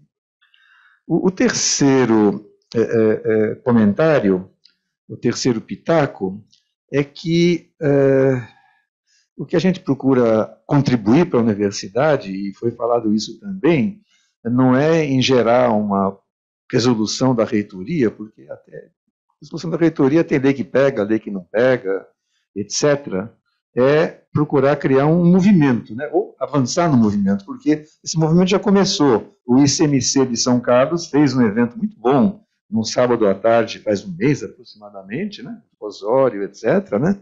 A Faculdade de Medicina ontem à noite, das seis às oito, fez um evento também muito bom, e há outros eventos. Então, por um lado, nós estamos sendo mais um evento, mas o que foi falado hoje de manhã na presença do reitor, a gente está procurando fazer algo que é, possa gerar uma articulação para a universidade avançar, não de maneira, é, você usou a palavra timoneiro, né, grande timoneiro, quer dizer, não é ordem unida, todo mundo de, de blusinha igual, etc., mas gerar algumas bases que sejam relativamente compartilhadas, né, de aceitação, a plataforma cognitiva compartilhada, eh, certa, certos, certas bases, diretrizes, por isso que a gente usou o nome diretrizes, né, certas guidelines, né, para usar o termo em inglês, e que possam ajudar, então, que a Proreitoria de Graduação faça a sua eh, regulação, que aqui não necessariamente é a mesma da Proreitoria de Pós-Graduação, que não é necessariamente a mesma da de pesquisa, que, enfim, mas então é, é, é fazer algo que é, a USP é, é, seja não o que frequentemente ela é chamada, né, uma, uma, uma federação de unidades, mas que tenha de fato uma universidade, não seja uma multiversidade, né, que por vezes ela é, respeitando as identidades, etc. Finalmente, e, e com isso eu concluo, é, movimento é uma coisa gostosa, né, mas ela dá um certo trabalho, então a gente é, é, vai se empenhar, evidentemente, mas é, é, eu reforço que o Glauco já falou, a gente vai precisar, já agradecemos a ajuda que vocês nos dão participando e participando, falando com ideias e outras demais pessoas com perguntas, mas nós vamos precisar, é, de fato, gerar um movimento é, com muitos esforços, não tem uma solução, não é uma resolução bem escrita com o chat GPT ou um chat GPT, porque eu posso perguntar, né? Eu fiz a. O que que. Uh, senhor ou senhora, o que, que a senhora recomenda aqui para a USP, etc. Mas, enfim, mas não, não é disso que se trata, mas gerar um movimento e que, finalmente, talvez a partir dessa provocação, a gente consiga não só trabalhar o chat EPT, mas trabalhar a IA e trabalhar de novo certos outros valores que aparecem nesse conceito novo de integridade no mundo que está mudando. Então, é isso. Só me resta agradecer a todos, todos e todas vocês que, que estão aqui conosco o dia inteiro. Né? A gente é, espera que tenha sido também prazeroso, né? E, e uma coisa ser fã, né? Como foi dito, né? 30% entram lá porque é divertido, né? Então, ser divertido é algo importante. É, e, e, agradecer a equipe e, e, finalmente dizer que continuamos na frente, nós vamos é, de fato sentar esses dez mandamentos, talvez sejam doze princípios de Hércules, ou. Hein? Eu acho que nós vamos uh, deixar isso disponível. Você quer passar, Glauco? Não, eu acho que está mais por causa do horário, né? Já foi meio antecipado pelo, pelo, pelo Gucci. Se alguém quiser fazer, aliás, se alguém quiser fazer alguma observação específica, Ney, já vou passar a palavra para quem mais quiser falar. Ney, diga. Sim, a versão, a versão atual. Podemos passar o documento? É, é, depois a gente vê como é que a gente coloca isso disponível, né? Mas só que, vamos dizer assim, é, é, isso tem que ficar claro que, primeiro, não foi escrito por chat GPT, mas, mas, mas segundo, precisa, precisa, colocar claro que é um documento ainda né, em. O, o, o seu Luciano leu, o Marcos Neira leu, etc., mas é um documento ainda germinando, né? Então é, eu às vezes tenho um pouquinho de receio de colocar uma coisa que está em elaboração muito publicamente, eu não sei exatamente como resolver, porque as pessoas já tomam isso, já vai sair a manchete, olha, a USP está fazendo isso, veja o artigo 4 a segunda linha, olha só, meu Deus do céu, como é que... Então, acho que tem algum cuidado que a gente precisará tomar politicamente também, no sentido assim, entre aspas, da palavra política, mas vamos tentar colocar de alguma maneira disponível, pelo menos é, para uma listagem mais é, ampla do que as pessoas inicialmente olharam esse documento. Mas vamos fazer isso sim, Ney. E só resta agradecer, são 5h15, era mais ou menos o horário que a gente tinha previsto. Ellen, proposta é, um grupo de trabalho que chegou a essas conclusões. Né? Nós devemos cobrir tal e tal e tal tema. Eu, eu não vi, eu até gostaria de ver, mas realmente o tempo está avançado. Aí, a partir desse grupo. Aquilo que o, que o professor Eugênio leu. Sim, sim. Sim, sim, foi muita informação que fluiu aqui. É, é, claro. Então, mas aí, aí uma consulta dentro da universidade, uma coisa que vá pela plataforma da universidade, uma consulta a, que gere discussão e talvez, não sei se filtra é, só entre professores ou só... É, aí, aí eu, eu agradeço, mas aí é o seguinte, aí usando um termo do Glauco, né, o, o, grande timoneiro é o reitor. Né? Então, o que a gente vai fazer é, a partir, vamos dizer assim, daquilo que foi aqui no seminário colocado, vamos procurar compartilhar isso um pouco mais internamente, vamos dar mais uma olhada, vamos acrescentar coisas que foram faladas, só para dar um exemplo, está na minha frente aqui a Dora. A Dora falou várias, deu quatro sugestões, né, mas só para pegar uma sugestão, e que não está no nosso documento, né? não está nessa, nessa proposta, que é o seguinte: tem que se envolver na discussão que está acontecendo no Congresso sobre regulação. Bom, então, a gente vai, então vai ter 11, vai ter 12, vai ter 13, não importa o número, é, não é porque tem 10 mandamentos, 12 trabalhos de Eccles, 14 princípios da qualidade, né, do Deming, então sempre a gente vai encontrar alguma referência, porque o número é aquele. É, mas, é, e aí a gente vai, isso sim, é, ter uma conversa com o reitor e com quem mais o reitor chamar, possivelmente é, os pró-reitores e pró-reitoras mais próximos, né, e ver como ele quer fazer esse caminhamento.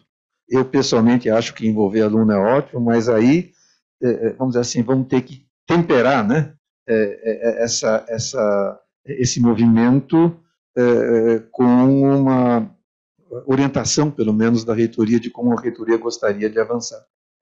Eu acho que sim, devemos democratizar certamente, mas em que momento? Porque, de novo, o, o reitor, a gente mandou para o reitor isso ontem à noite, né? Porque também as coisas vão. Agora, não sei se o reitor teve tempo de ver isso, né? E acho que até já que a gente está querendo fazer isso, no fundo, a, a, talvez uma frase final. A lógica que está por trás disso, do ponto de vista do IA, é a seguinte: o IA, é, é, de certa maneira, vem se especializando em eh, contribuir, ou pretender contribuir para políticas públicas. Né? Hoje de manhã eu cheguei tarde porque, desculpa, Fábio, mas a gente teve um outro evento, 20 anos do Grupo de Nutrição e Pobreza, que é um grupo, aliás, muito fértil e, e, e com muitas propostas políticas públicas que foram implementadas. Então, o que a gente está propondo é uma política pública interna da universidade, né? política interna. Então, é política pública. Então, a gente precisa, a experiência que a gente tem é que políticas públicas elas deixam de ser papel e passam a, a ser incorporadas, aceitas, né? É, é, ou, ou, contribui para que políticas públicas sejam efetivadas, formuladas mesmo e, e possivelmente implementadas, quando os agentes que têm o poder de formular e implementar estão juntos, né? Então, eu acho que a gente tem que assegurar que as pessoas que têm essa capacidade e o poder, inclusive formal, que estejam juntas. A gente procurou fazer isso, o Luciano aqui que está aí testemunha, ao não sentar e passar, mas passamos para as proreitorias mais próximas, vieram sugestões, é, enfim, gostou, não gostou, etc. Então a gente fez uma primeira rodada. Então a gente vai, vamos ver como é que a gente avança nisso. O espírito é o espírito de envolver a universidade toda, é, é o sonho mas a forma, a, a, dinâmica, o ritmo, a gente vai conversar com, com a reitoria e ela vai nos orientar. Se a reitoria achar, olha, está no momento aí de colocar isso em audiência pública, para usar um termo também de política pública, pode ser, né? Se a reitoria falar, peraí, vamos fazer o seguinte, vamos deixar agora os conselhos centrais trabalharem, por exemplo, né, o Luciano está aqui na minha frente. Então, é, de repente, o professor Márcio, que é o pró-reitor, né, junto com o senhor Luciano, e, ó, acho que está na hora da gente ouvir a comunidade específica que mexe com pós-graduação. Existe um conselho central de pós-graduação. Então, nós temos reuniões, é mensal a reunião do dois meses. Bom, então é o seguinte, é, enfim, nós vamos fazer isso na próxima reunião, por exemplo. Aí, se quiser nos convidar para apresentar ou não, se o professor Luciano apresenta, isso é outra história.